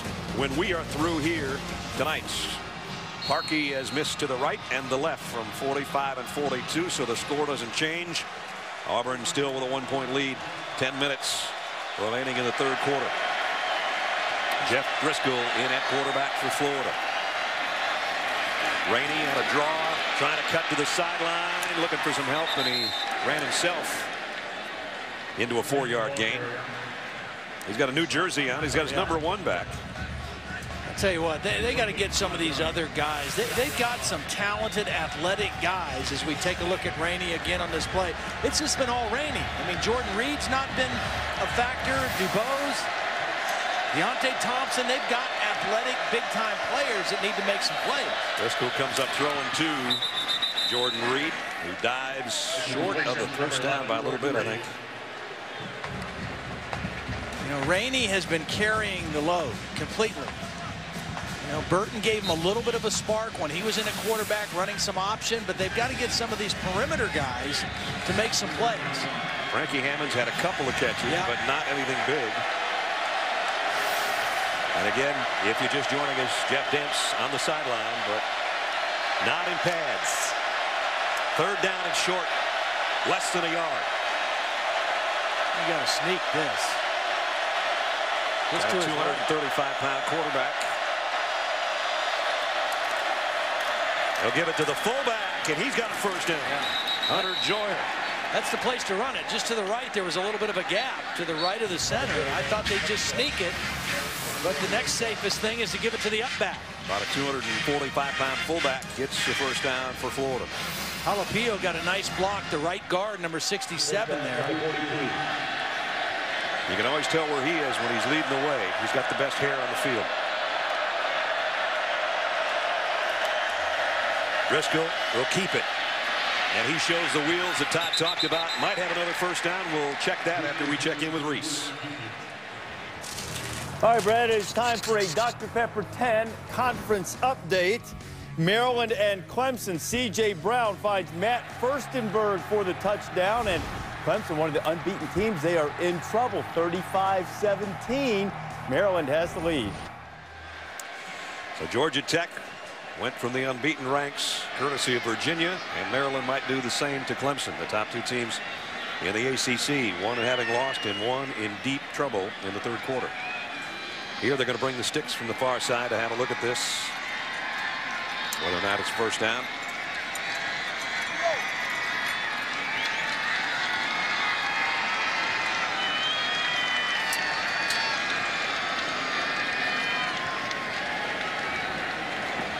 That's as close as you can get. Just a few lengths shy yeah. of the first down. Nice opportunity to maybe take a shot down the field, try to stretch this defense. As you see Driskel trying to stretch for the first down. Just short. Second and less than one now.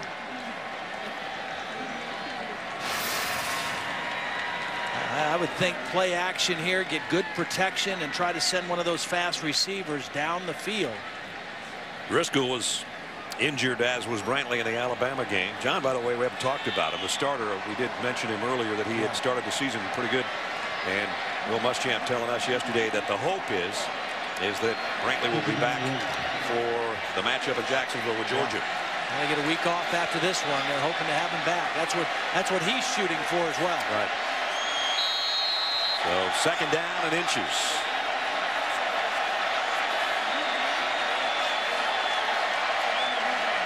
Rainey, flea flicker. Back to Driskel. Loads and fires. Got a man there. It's Reed, and he overshot him. It would have been a touchdown. Well, they had the shot. I mean, that, that's the perfect time to try it. Not only did they go play action, they went flea flicker, and Jordan Reed was wide open. You get a guy wide open, throw it right at him. Don't worry about leading him too much. I mean, he's got five yards on the defender. Just throw it right at him. Even if he has to slow down a step, that's better than overthrowing him by five yards. Second straight third and inches on this drive. And Driskel in the backfield is going to be brought down.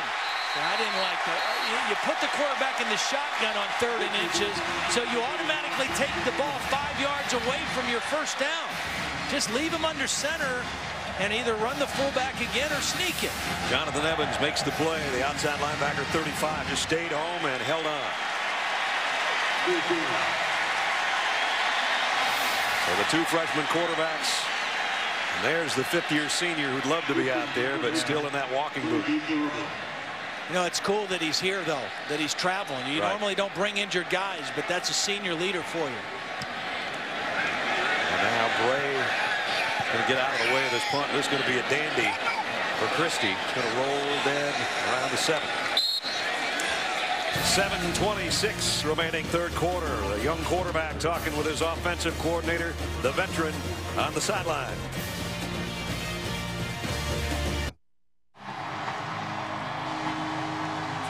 This is the next thing before you get to the NFL. It ain't the Big 12.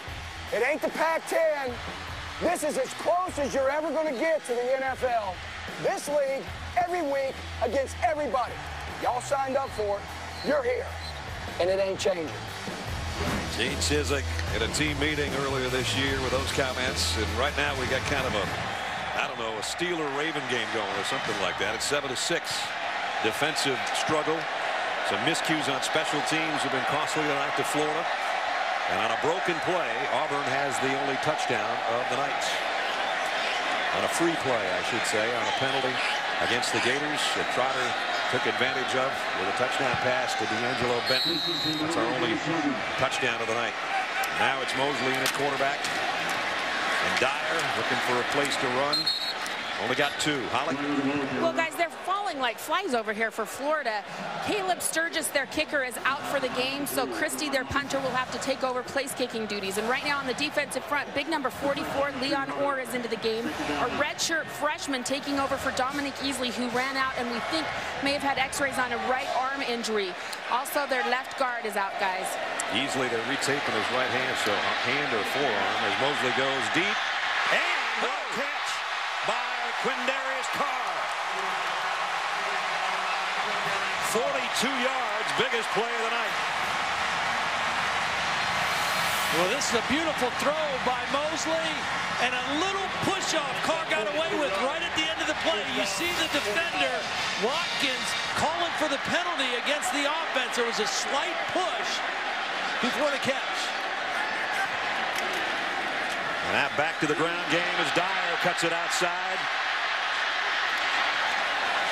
Goes down inside the 45-yard line. A pick up a five, and we pick up Rece Davis. Rece. Brad, another of the unbeaten Kansas State going on the road against Texas Tech. Back and forth game. Collin Klein to Chris Harper, the former Oregon player. A missed extra point early in the game. The only difference right now, 28-27, third quarter in Lubbock. Here a one-point game with six minutes remaining. Frazier back in at quarterback. The freshman Kiehl Frazier joined by Dyer behind him. They fake the counter and it's Frazier running all the way on this one. He's short of the first down, but he did get it to the 40. He's about two feet shy of the first down marker. Now, one of the things for Auburn, too, Phil Lutzenkirchen, one of their real leaders, a key blocker, is really favoring his right arm, right elbow, something. He just took himself out of the game. His backup is Ladarius Phillips, number 37, who's a big fella, 6 foot 291 pounds, but just doesn't have the playing experience that Lutzenkirchen has. There you see the 291 pounds poured into the Auburn jersey. Dyer, the Wildcat, direct snap, hitting the backfield, and I mean, he's going to lose big-time yardage. Good job by the Florida defense. Matt Elam and company. And that'll fire up their head coach. Well, we talked about Ladarius Phillips coming in for Lutzenkirchen. All right, you got to be ready to strap it on when you come in because this Florida defense is coming after you. They run right through him and bottle up the play. Elam finishes the play, but they just got penetration right away into the backfield, and Dyer had nowhere to go. Sharrif Floyd is the guy that was head on with Phillips, and that helped blow that play up. Steven Clark set to punt again. Yeah, you expect 291 pounds to go forward, yeah. not backwards.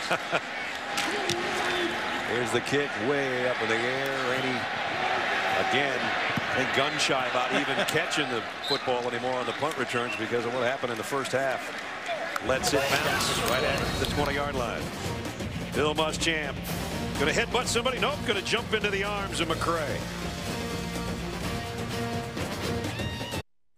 ESPN's College Football Primetime. Brought to you by the 2011 Fusion from Ford. Get in and drive one.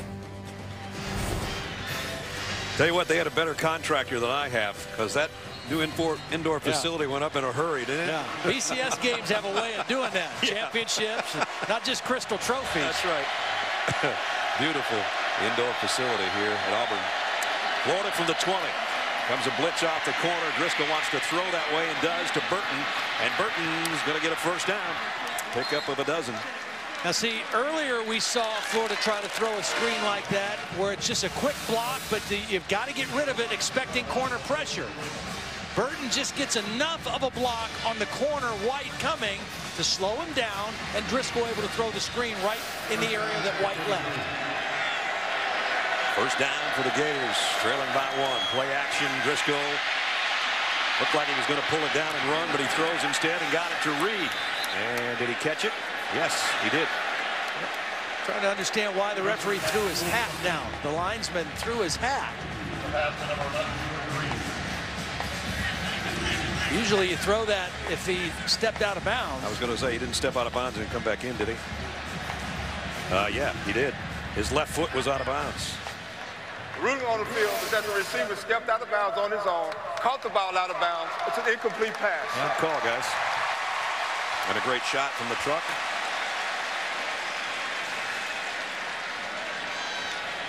So it brings up second down and 10. Under four minutes remaining in the third quarter. Here's another look. You see there's his left foot. Yeah, and that's on Reed. He's just got to know where he is on the field. And you, you, you just can't run out of bounds. And there's nobody even over there pushing him. And then tiptoes back in. Yeah. he got both feet down, but he had one out to start with. Driskel straight drop this time. Deep ball, incomplete. He forced it into double coverage. Again, with a young quarterback, you, you got to teach them to not be greedy, take what the defense gives you, read through your project, projections, progressions, work deep to short. If it's not there deep, come to your next read and then dump it down to a back like Rainey if nothing's there. I'm sure last year's National Player of the Year and Gatorade Florida Player of the Year, you get away with that, but not in the SEC. Three out of ten on third down conversions for Florida. Driskel, here comes Lemonier. And he just made lemonade of the Florida quarterback. Yeah, he got around Xavier Nixon. Got, you know, there's got to be a big game for Lemonier. He's a, a, Florida guy from Hialeah, Florida. He had previously in his recruiting committed to Florida before changing his mind and coming to Auburn.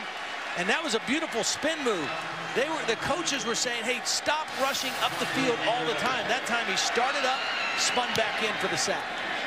For the punt, Bray will take at the 33-yard line, 34-yard line. And they're looking for a flag. Auburn's got the ball back with a one-point lead still. Nothing's changed here in the third quarter.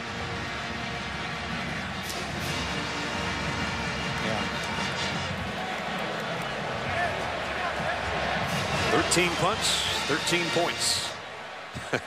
points, punts, yeah, potatoes, same. potatoes, whatever. I'll tell you what we haven't seen yet is we have not seen a trick play from Auburn. Well, they tried the fumblerooski. Oh, yeah, they did. That's right. You're right. Well, expect another one here before the game's over. Kiehl Frazier and a quarterback. With McCalebb with him, he's going to take it straight up the middle. And got near the 40-yard line. Check in with Rece Davis. Rece. Brad, Georgia and Vanderbilt. Bulldogs have just taken a 23 to 7 lead. They kick off to Andre Hal. He's got an alley.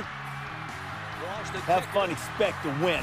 96 yards, James Franklin's team's hanging around, 23-14 dogs. Here the SEC on ESPN, 7-6 Tigers leading the Gators. 83rd meeting between these two SEC teams, but they haven't played in four years. 2007 was the last get-together. Here's Moseley, uh, play action, hit as he throws, but he got it to Lutzenkirchen for the first down. Uh, you know what? Had he not been hit as he threw, that thing might have sailed over well, Lutzenkirchen. It, it might have, but I'll tell you what, it was a nice touch because Matt Elam was in coverage, the safety, and he couldn't throw this flat. He had to put some air under it to get it over Elam, and that's a beautiful touch to Lutzenkirchen. And a first down just outside the 45. Now back to the ground game. Into the secondary. Michael Dyer going backwards, forwards, sideways, all the way to the 28-yard line. And now that play looks like what Florida saw the last couple weeks with Trent Richardson running, Spencer Ware running, missed tackles at the point of attack, and a big bruising back just carrying defenders for extra yards. That's been an all too familiar sight for this Florida defense the last three weeks. 18 yards. In fact, this time they'll drop for a two-yard loss by Matt Elam. Elam, a good tackler from that safety spot. Sophomore out of Palm Beach Gardens, Florida. Well, the negative plays. Both of these defenses have done a nice job creating some negative plays and putting that offense behind schedule. In this case, the behind schedule is second down and 11. As we're down nearing the one-minute mark of the quarter. I hope the president's watching tonight. He's getting a lot of airtime. There's no debating that either. Play action for Moseley. And he's in trouble. Flags down. We're going to have a holding call as he throws it away. Chad Slade, I think, is going to be the guilty party, trying to keep Easley and those guys on the inside yeah. away from the quarterback. Well, Chad Slade is starting tonight for the injured Jared Cooper. He had to come in and play a good portion of the game last week. The redshirt freshman. Holding. Offense, number 62. That penalty is 10 yards from the previous spot. Second down. There you see him 62. Yeah. Got a hold of that jersey. Easley is really an active defensive tackle. I mean, uh, again, he's got the speed. He wears number two. Six foot two, 285 pounds. He's powerful and he's fast. Second and 21 now for Auburn. Had the big pass play, 42-yarder. And now they're struggling to maintain their field position. It has been a game of that tonight for sure. A minute to play, third quarter. Moseley with time, deep middle. Got his man, Lutzenkirchen, first down.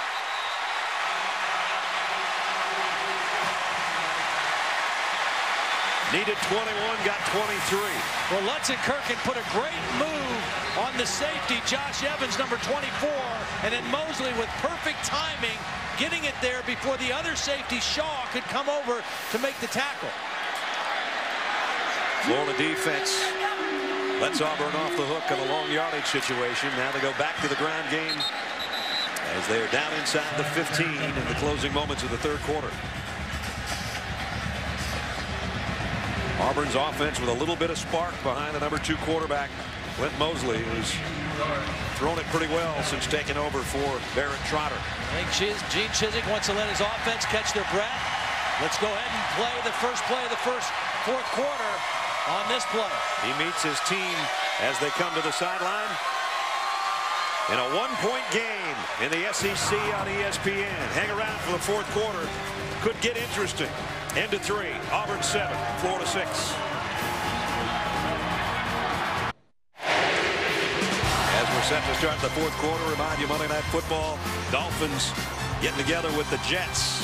8.30 Eastern, also available live on Watch ESPN. Coverage starts 7 Eastern with Monday Night Countdown served by Applebee's. Fourth quarter, Auburn leading by one. Trying to add to it here.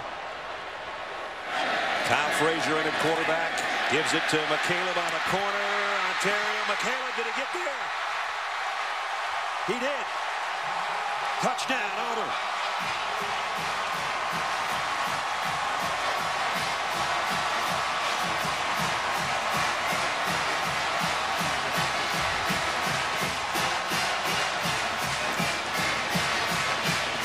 Fourteen-yard score.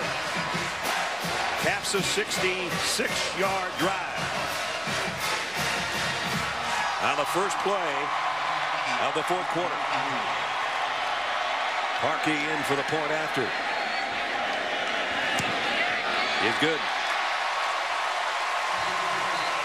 Well, Auburn kind of fooled the Florida defense with formation. They really overloaded the right side. They made it look like they were going to run this way. And then they bring McCalebb back this way. It's not X It's not great blocking by any stretch. It was just the speed of McCalebb, and they caught the Florida defense expecting something else, and the speed of Onterio McCalebb got it to the end zone. Three Gators out there, all great athletes, but not quick enough to find number 23 in time. This is a guy we knew would impact the game tonight with his touches. That his best touch of the night, a 14-yard touchdown. You know, and you go back to Gene Chizik saying to his offense, let's not run a play here. Let's let the, the clock go out at the end of the third quarter. Let's come over to the sideline. Let's catch our breath. Let's make sure we get the play that we want on second and eight here. And then they go down the other end, and they execute it beautifully for a touchdown. That's the first rushing touchdown of the year for McCalebb. And it's a big one here, one play into the fourth quarter.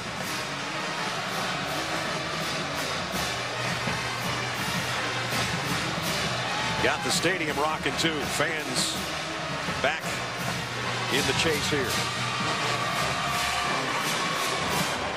Number one good branding through. Florida in the second half, only two first downs and only 21 yards of offense. And they're going to have to find some offense now.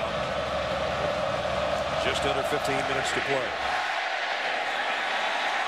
And Rainey trying to catch it over his shoulder. Will have to down it in the end zone.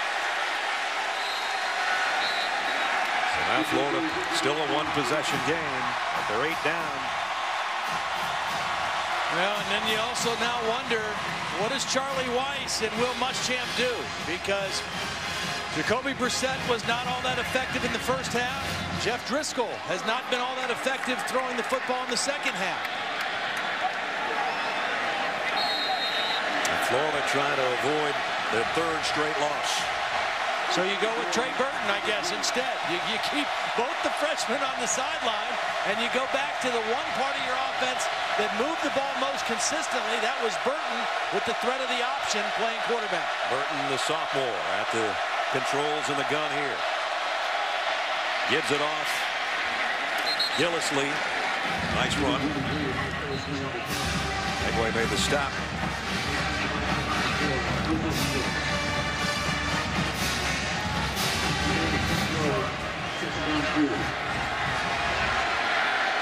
Six-yard pickup, second down and four as you look behind Trey Burton. Third guy to take snaps tonight. Actually the second. But three guys have for Florida tonight at the quarterback position. Gillislee again, and he's got first down. See now, what you lose in maybe the ability to throw the football with the more talented Brissett or Driskel throwing it, you gain with the threat of the option. And what the option does, and the threat of the quarterback run with Burton, is it forces this Auburn defense to play a little bit more basic, a little bit more vanilla because of the option, because defending the option is assignment football. You got to make sure you account for the back, for the quarterback, and for the pitch man. We saw the first four games, the last two, and tonight only 136 total yards so far for Florida. Comes a blitz. Burton's going to keep it. And Lemonier will track him down. Along with Angelo Blackson. Now this is the safety's going to try to drop down in here late, get an extra defender. Again, when the quarterback runs, you gain an extra blocker. Gillislee was out there leading. Burton thought he saw a crease to cut it back in, only picked up a couple yards. Second down at seven as we approach 13 minutes remaining in the game. Gators trail by a touchdown and a two-point conversion.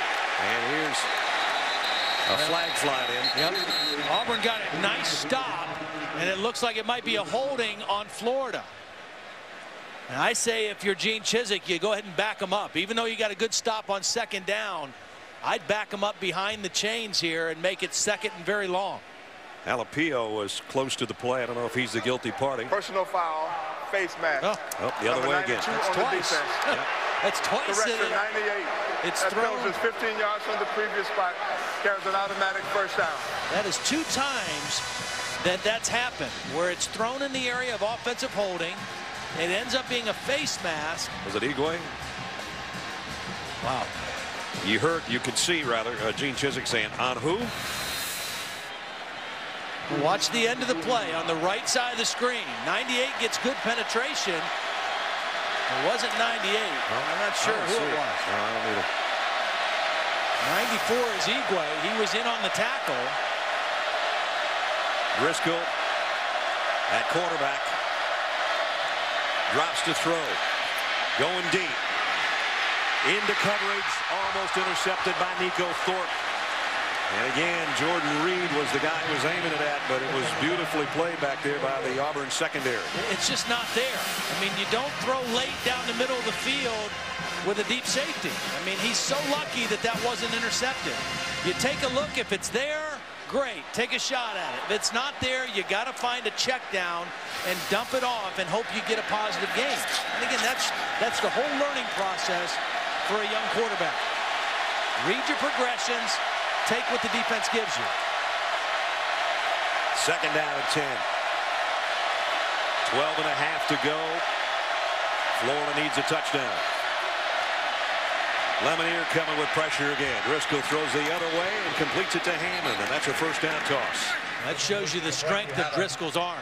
I mean, both of these young quarterbacks have great arms. That's a throw from the left hash to the right sideline. Very little air under this throw. This deep out. Thrown with timing. A nice first down for the Gators. Frankie Hammond coming to the plate here a little bit tonight. Fourth catch. He'll go out and get a breather. Dunbar and Thompson, the wideouts at the 40-yard line. First and 10 Gators.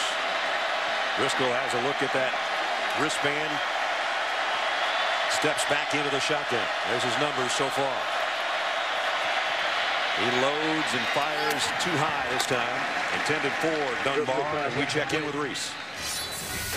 All right, Brad, Clemson still roaring back, trying to remain undefeated. Now down 38-27 at the Snake Pit of Byrd Stadium in Maryland. How about Sammy Watkins, his second touchdown catch of the night. 38-35. They're just now going to the fourth quarter on ESPNU. That one far from over.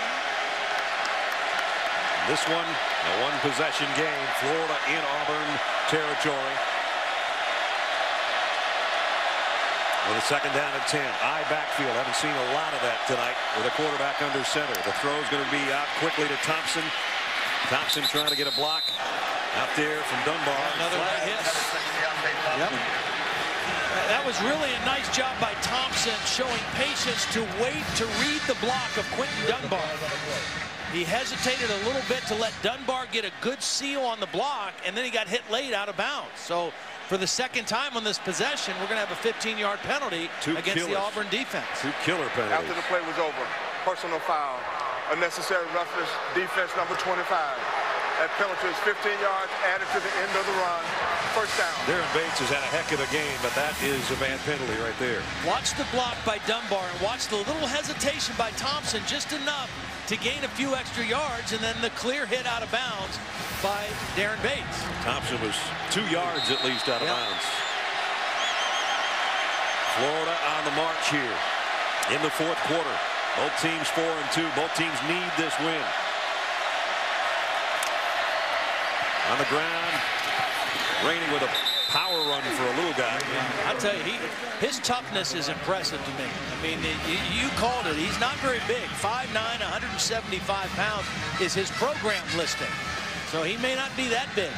But he is not afraid to stick his nose in there and run in between the tackles. He's not just looking to get outside and run on the edge.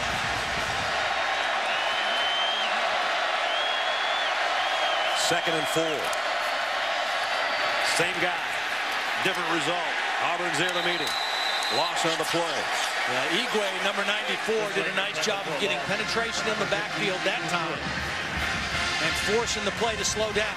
It forced it to bounce wide, and then he wasn't able to gain anything.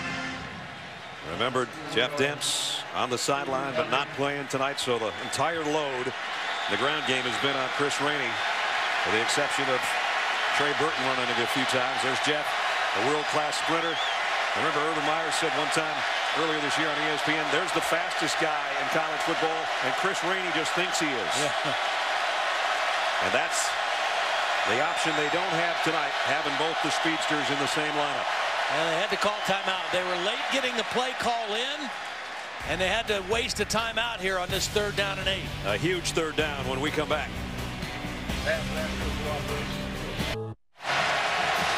Biggest third down of the night is at hand. Florida trying to tie the game up or at least get a touchdown to close the gap. But they've got to get all the way to the 12-yard line right here. Rainey and Burton with Driskel in the backfield. Driskel flares it out in the flat. Burton wheels around, almost lost his footing, and he only got to the 15-yard line. Now does Florida go for it here on fourth down? Boy, I thought this was going to be a big-time play because Auburn brought pressure. And they faked to Rainey and slipped it out to Burton. I thought he was going to be able to run for a first down. They're going to go for it. They're going to go for it. Well, they got kicking issues. Right. And so it's a one-score game. So, There's Sturgis. He's out for the night. That would have put Christy, the punter, in for a field goal. Who, who dropped one trying to punt earlier in the game. Fourth down for Florida. And now Auburn's going to take a timeout.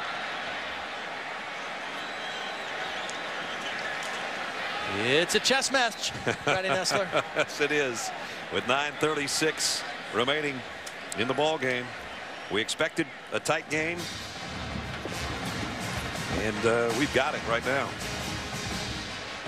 Gene Chizik knows full well that this is the fourth down of the season. Yeah. With both teams at four and two, and we're down the last nine minutes. You got to have this hold. Yeah. If you're Florida, you got to have the first down. Well, you got to have the first down. I mean, I guess you're thinking if you're Will Muschamp, there's nine and a half minutes left. Your defense has played pretty well. Right. You know, so even if you don't make it, you're still only down one score.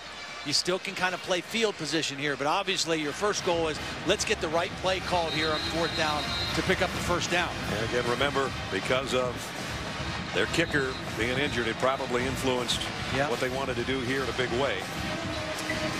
And it's not exactly like you want your punter out there just saying, oh, okay, let's try a field goal just because you're normally kicking the ball. they didn't want to put him in that situation. So they need to get to the 12-yard line. This is the play of the game. And Ted Roof is telling his defense that. Michael Dyer's just having fun on the sideline right now. I would, I, you know, if I'm Jeff Driskel now, I'm expecting pressure from Auburn. And I'm expecting them to come after me and try to put me in duress. And Jeff Driskel is also a very good runner. If he gets a lane, he might be able to run for a first down here. The guy that's caused the most duress tonight's been number 55, Lemonier. He's in his track stance right there as part of that front for the Tigers. Fourth and four, Florida. Driskel fires, and it's over the arms of Deonte Thompson, incomplete. Chris Davis was covered. Now the ball just sailed on Driskel. He had single coverage. It would have been a first down. He threw the ball too high. Nine and a half to play. Can the Tigers hold on to their lead?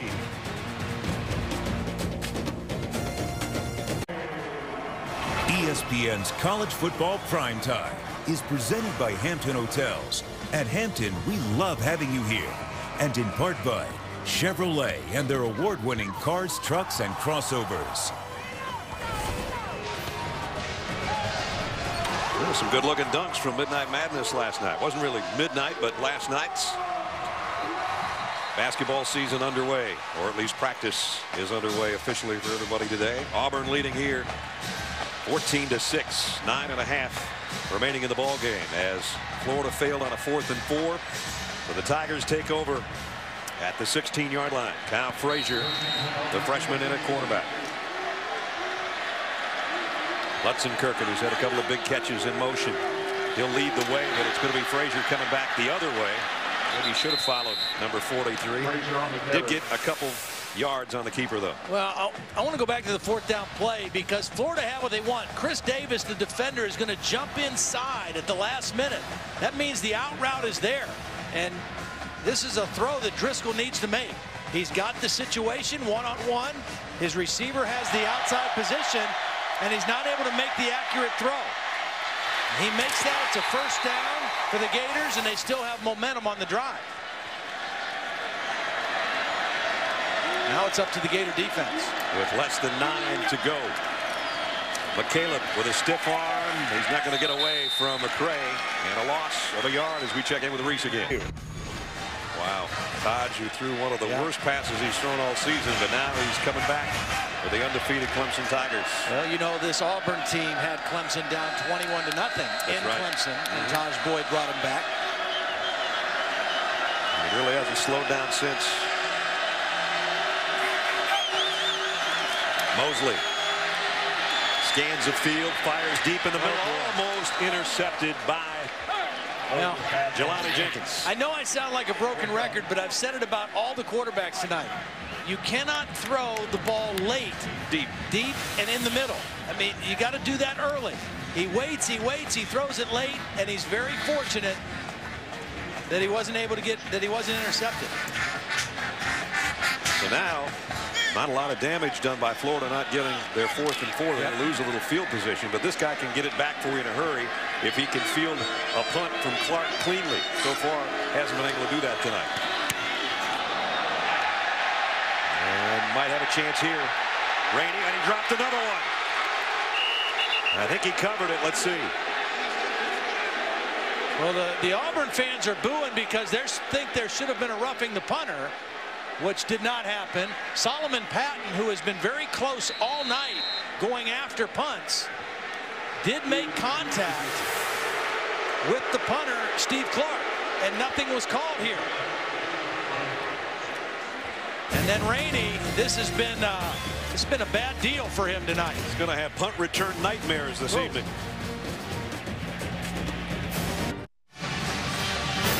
Davis has been along with us all night. He'll join Kirk Herbstreit, Craig James for BCS Countdown Sunday night. They unveil the first BCS poll and analyze who the contenders and pretenders are. It's 8.15 tomorrow night and continuing on ESPNU at 9 Eastern tomorrow. The Todd Blackledge and Holly Rowe. Brad Nessler with you from Jordan-Hare Stadium where the Tigers holding on to a lead. Florida with the ball. Their own 39-yard line. They need a touchdown. They fake the end around, and Driskel's going to throw it back to the guy who faked it to Thompson. And Thompson only gets to the 39. Speaking of Rece Davis, what do you got, Rece?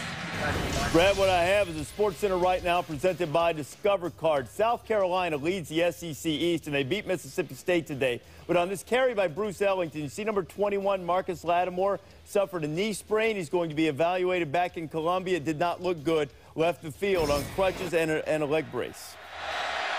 Not only a great player, but a great kid, and I hope that's not serious for not just himself, but for the Carolina team. Second down and eight. Florida, the final seven minutes of the quarter. And that one batted down at the line. Nosa Eguae got a big paw up there. And now, uh, Rainey's running with the ball. I don't know what that was about. Well, I mean, Rainey's reacting like it was a backward pass. I thought it was clearly a forward pass that was just batted down at the line of scrimmage. Trying to throw a flare route.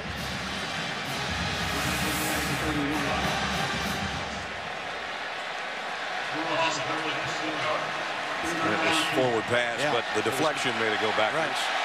Well, you know, good for Chris Rainey. Stay with the play until you hear a whistle or whatever. Uh, yeah, and they got to move this back to the original, the original line of scrimmage for uh -huh. third down.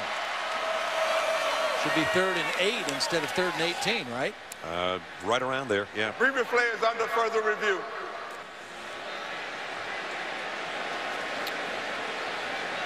Robert Rougeau is our replay official. Talked to him before the game, and they'll take a look at this. Looked clearly like it was just a ball that was going to be out in the flat, but Deflected backwards. Tell you what, a couple of these linemen for Auburn, Eguae and Lemonier, actually all those guys on the front for Ted Roof's defense really played hard tonight. Come up with some big plays. Yep. Well, Xavier Nixon, number 73, was in such a hurry to get out in front of this play that he let Eguae have too quick a path to the quarterback. And that, that ball shouldn't get tipped basically Rainey was at the 35 yard line and Driskel was at about the 31 when he let go of the pass. So that was the path that the ball was supposed to head to. This is going to be just an incompletion, I think, when we come back uh, after the official review. 620 Video evidence shows that the pass was thrown forward and batted backwards by the defender. Therefore, it is an incomplete pass. The ball will be placed at the previous spot. Third down. That'll be at the, what, 41-yard line. Well, Florida 3 for 12 tonight on third downs. Auburn not much better at 1 for 11, so both of these teams have struggled mightily in third down situations. Ledge, they might not get any more opportunities pretty soon. Yep. That means the third down couldn't be much bigger than it is at the 620 mark. They need a touchdown and a two-point conversion to tie this thing up. They have only two field goals to show for their efforts on offense tonight. I just keep thinking, uh, thought from the very beginning of the game, you know, when is Jordan Reed going to show up? He, he's a big target at 6'3", 240 pounds. A little bit bigger than most defensive backs or safeties that would cover him. And he just has, has not been much of a factor. They've aimed it at him a couple Yeah. times, but uh, ill-advised throws down the middle, as you said, deep and late. And then he had the one catch that was negated when he stepped out of bounds on his own before coming back in to make the catch. I just think you, you call something that's kind of a sticks route right here where you just get to the first down marker. Your routes take you to the 50 and then you just find the, the, the open guy. I think they're just trying to reset the clock from the incompletion, uh, would be my guess anyway. And Dunbar and Davis having a little chat. The clock operator, please reset the game clock to 6 minutes, 33 seconds. So the tack on 13 more Thank you. seconds. Or will shortly. Third down and eight. How many more times will Florida even be able to have their hands on the football? That's what makes this third down from their own 41 so important. Bates thinking about coming off the corner. Driskel's back to throw and over the middle goes complete to Burton, but he slipped and he couldn't get to the first down. He's about a yard and a half shy. Wow. Tough decision now for Will. I, you know, if this pass was incomplete and it's fourth and eight, I think you got to punt the football and hope your defense can get one more stop. But now you're right up there close, fourth and short. The problem here is field position is still critical in this game as a one possession game. So if you don't make this, you give Auburn a short field and pretty much seal your chance of winning. You try to draw him offside and then change your mind and punt. Could be. Fourth and three. And the unfortunate thing about that sometimes when you try to do it to the defense, you do it to yourself. You know, Xavier Nixon has been bothered by some kind of, a, of, of an injury that's been bugging him. False start. 64 on the offense. Touchdown to the previous spot. Fourth down. That was Kyle Koehne that got called for the infraction. So now you definitely punt the football and you and you hope your defense can come through one more time. Uh, both those guys flinched, and I think you're right. I think it was Nixon more than Koehne. Anyway, the first penalty against the Florida offense in this half, but it's costly because now they've got to kick it away. Christy, the punter, knocks one down, gets a great roll, and I mean a really great roll. That's what you want. You, you put it on your defense to keep them down there, keep playing field position, and give your offense one more shot.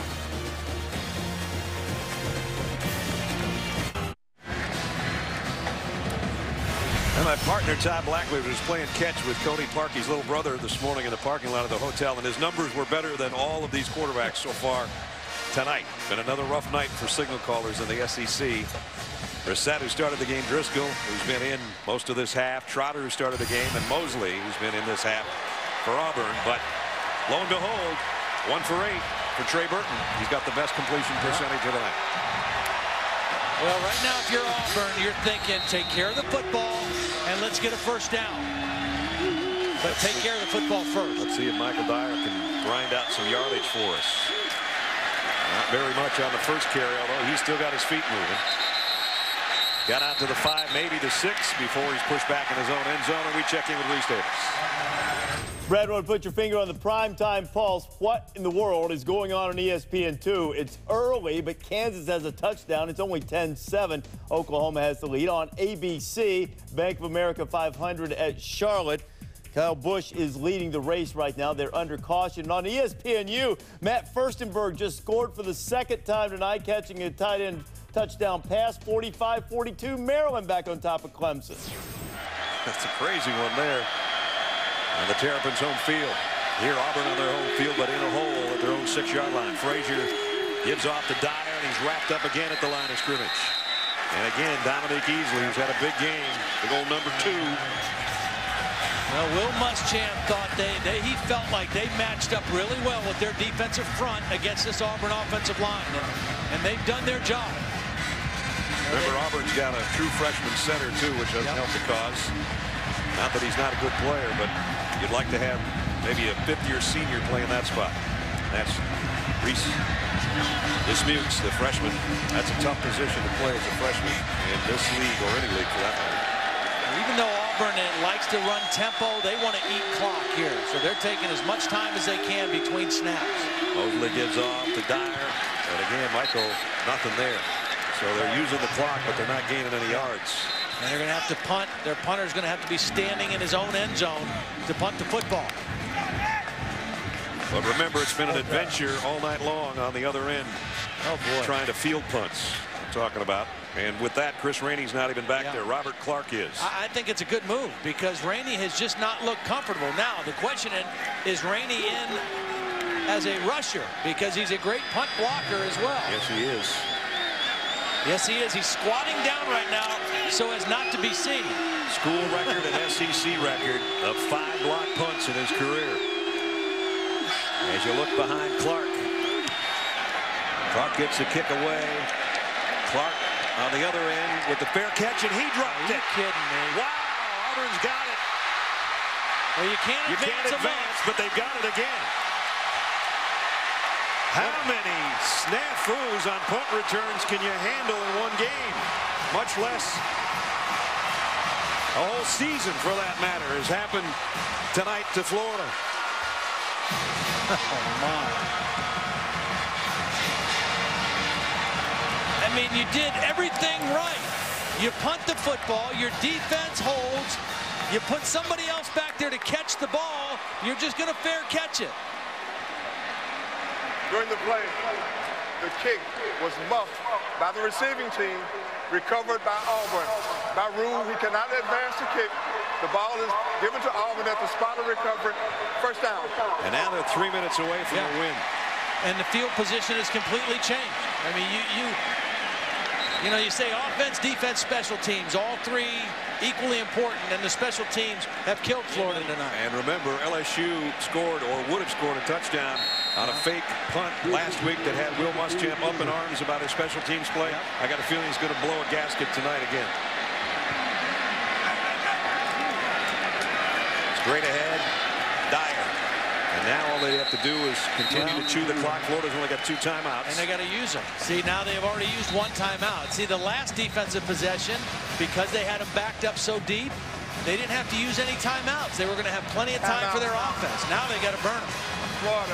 Down to one. Their second time out of the half. This will be a 30-second timeout. Will, Must, Will Muschamp trying to keep his troops in it.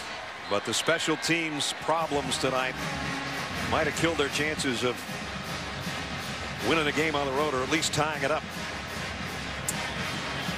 Let's take a look at our All-State good hands play. We know there's been some bad hands plays for Florida on punt returns, but this one on a free play. Barrett Trotter going up top, finding DeAngelo Benton for the touchdown. Our first of the night and the only one of the night for a long time before Onterio McCalebb scored in this half to make it 14 to 6. Well, you know, we said early on in the broadcast that neither one of these teams was playing at a high enough level offensively to overcome turnovers.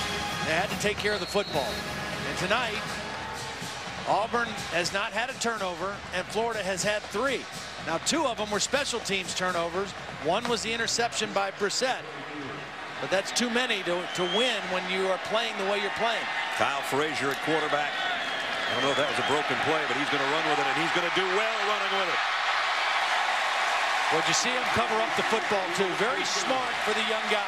He got in the open field, and he took care of the football because at this point he realizes the only thing that can hurt our chances to win is if they get the ball and strip it from us. So watch him covered up with both arms at the end of the play as he's going to the ground. And all the way down to the 25 where it's first down and Moseley comes back in. Michael Dyer time here, boy. I yep. would give it to five every time. Even if they don't gain much, they'll use. Florida. No, they'll use make Florida use that one time out. Fake the sweep straight ahead with five. And he keeps those legs churning for about four yards.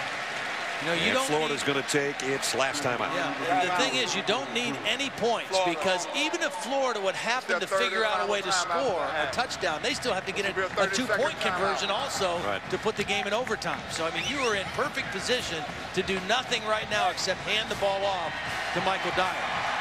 And what will be in the minds of Florida fans for at least a week, the month punts. That one, did he get enough room? Doesn't matter. Fair catch. Barely made that one. There. That led to an Auburn touchdown. Another one he drops. They put Robert Clark back, and he did the same thing. Wow. They will not want to see a ball high on the lights again for a long time.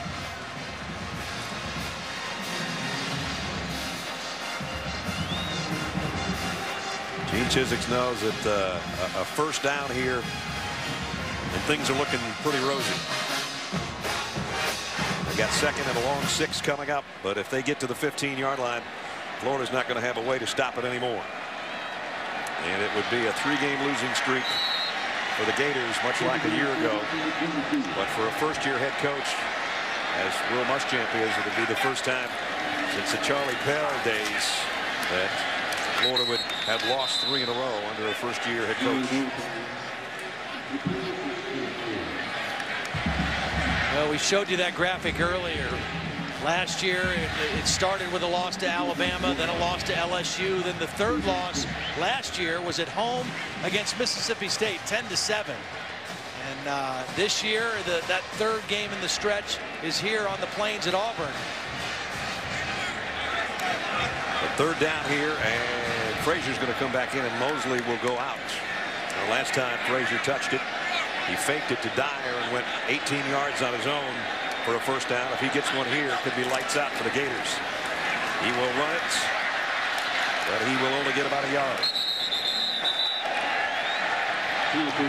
See, I don't think you line up and try a field goal here either because you run the risk of it getting blocked.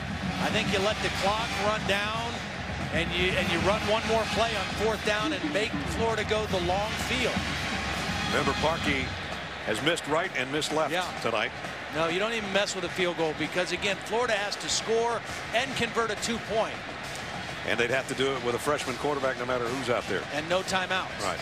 Kind of tough to do. They can run the clock down to around 40, 42 seconds, maybe 43, somewhere in there. Gene Chizik. All right, we got time. With a timeout with 46 seconds. And remember, Parkey, that one was wide to the right from 42. A 45-yarder was wide to the left. And we'll see whether or not they're going to put him out there. He's warming up. Yeah. I mean, if he hits this one, it's lights out well, anyway. yeah, if he makes it, it's a two-score game, and, and then it, it essentially is over, you right. know, for Florida. I don't know. I mean, he's missed a couple. I just think you run the risk of a potential block and something changing field position and changing the momentum of the game dramatically here in the last minute. But I do understand trying to get a two-score lead. And we've seen that special teams tonight have been anything but special, really, on both sides of the ball. Yeah. I'm kind of with Todd. I, I don't think you can go, you know, 80 yards with no timeouts with a freshman quarterback in the SEC on the road. They, they haven't made a touchdown yet tonight. Right. They got two field goals for six points. That's all I'm saying. I, that's why I don't. But we'll see what happens here. Like you said, the last thing that you want to happen is to hear a double thud here. Boom, boom, meaning block kick. It takes everybody to do their job. Ryan White is the holder.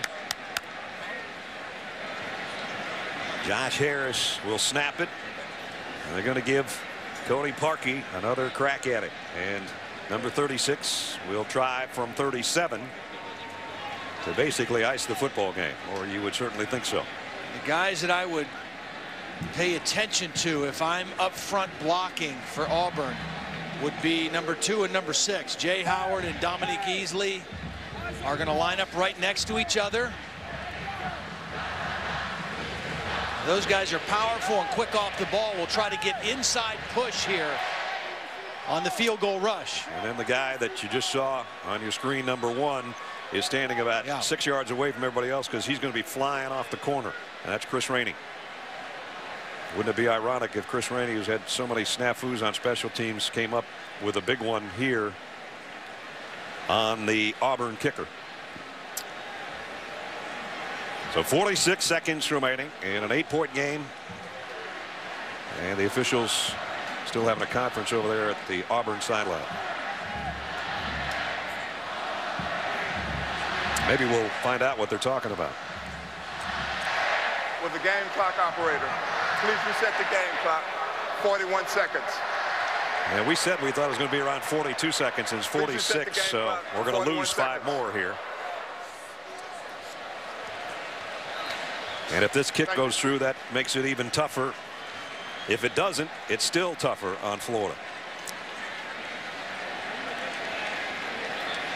Well, Cody came into the game tonight seven out of eight. But you saw his misses. And you can go from being uh, a little bit of a goat as a field goal kicker to a big man on campus if you knock this baby in.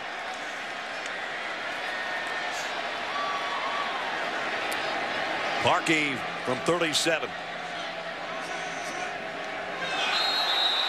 And they've got a flag down. Well, the first move was by Jaye Howard, number six. But there was movement right after that by the offensive line of Auburn. So were they drawn off by the movement of Howard? And does it go against Florida or does it go against Auburn? If it's Florida, it might be a first down. False start. Offense. Oh, okay. Number 98. Five yards from the previous spot. Fourth down. Uh-oh. Now you're talking about the same distance basically that he missed from earlier. Yeah, it's Angelo Blackson, and he's right in here. And again, he's lined up right across from both Easley and Howard. And those are the guys that are going to try to get the push on the middle of that blocking front. So Parkey is missed from this distance tonight. They're making it hard on number 36, but they'll give him a shot. Kick on the way, and this time he got it when he needed to the most.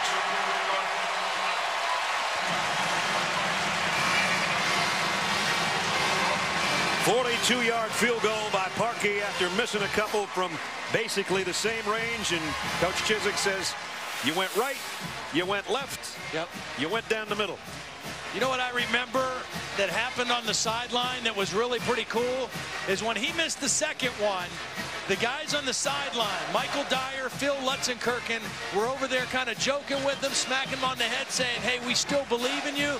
And when they needed it the most, Parkey was true.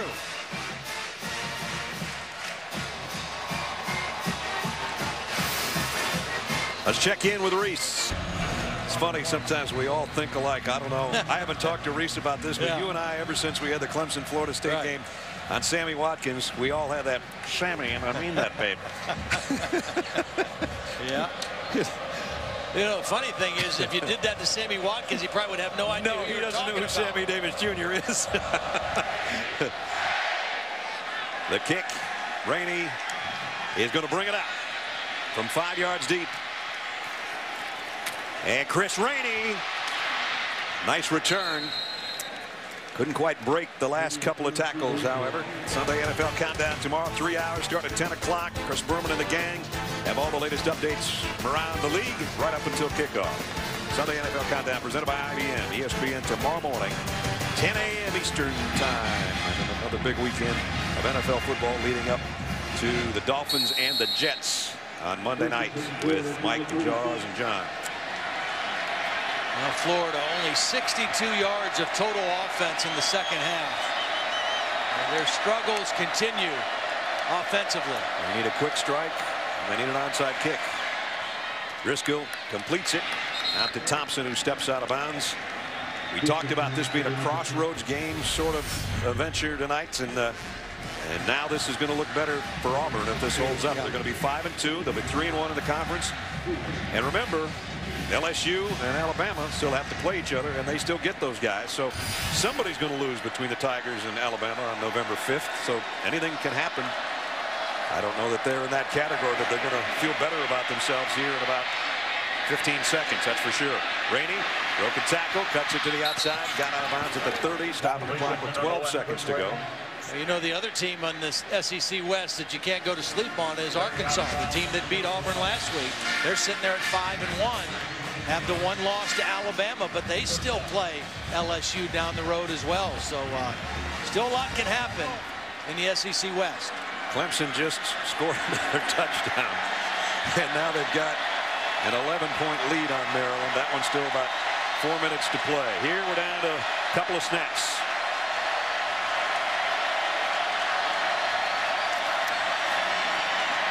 Driskel steps up, fires deep in the middle, in and out of the hands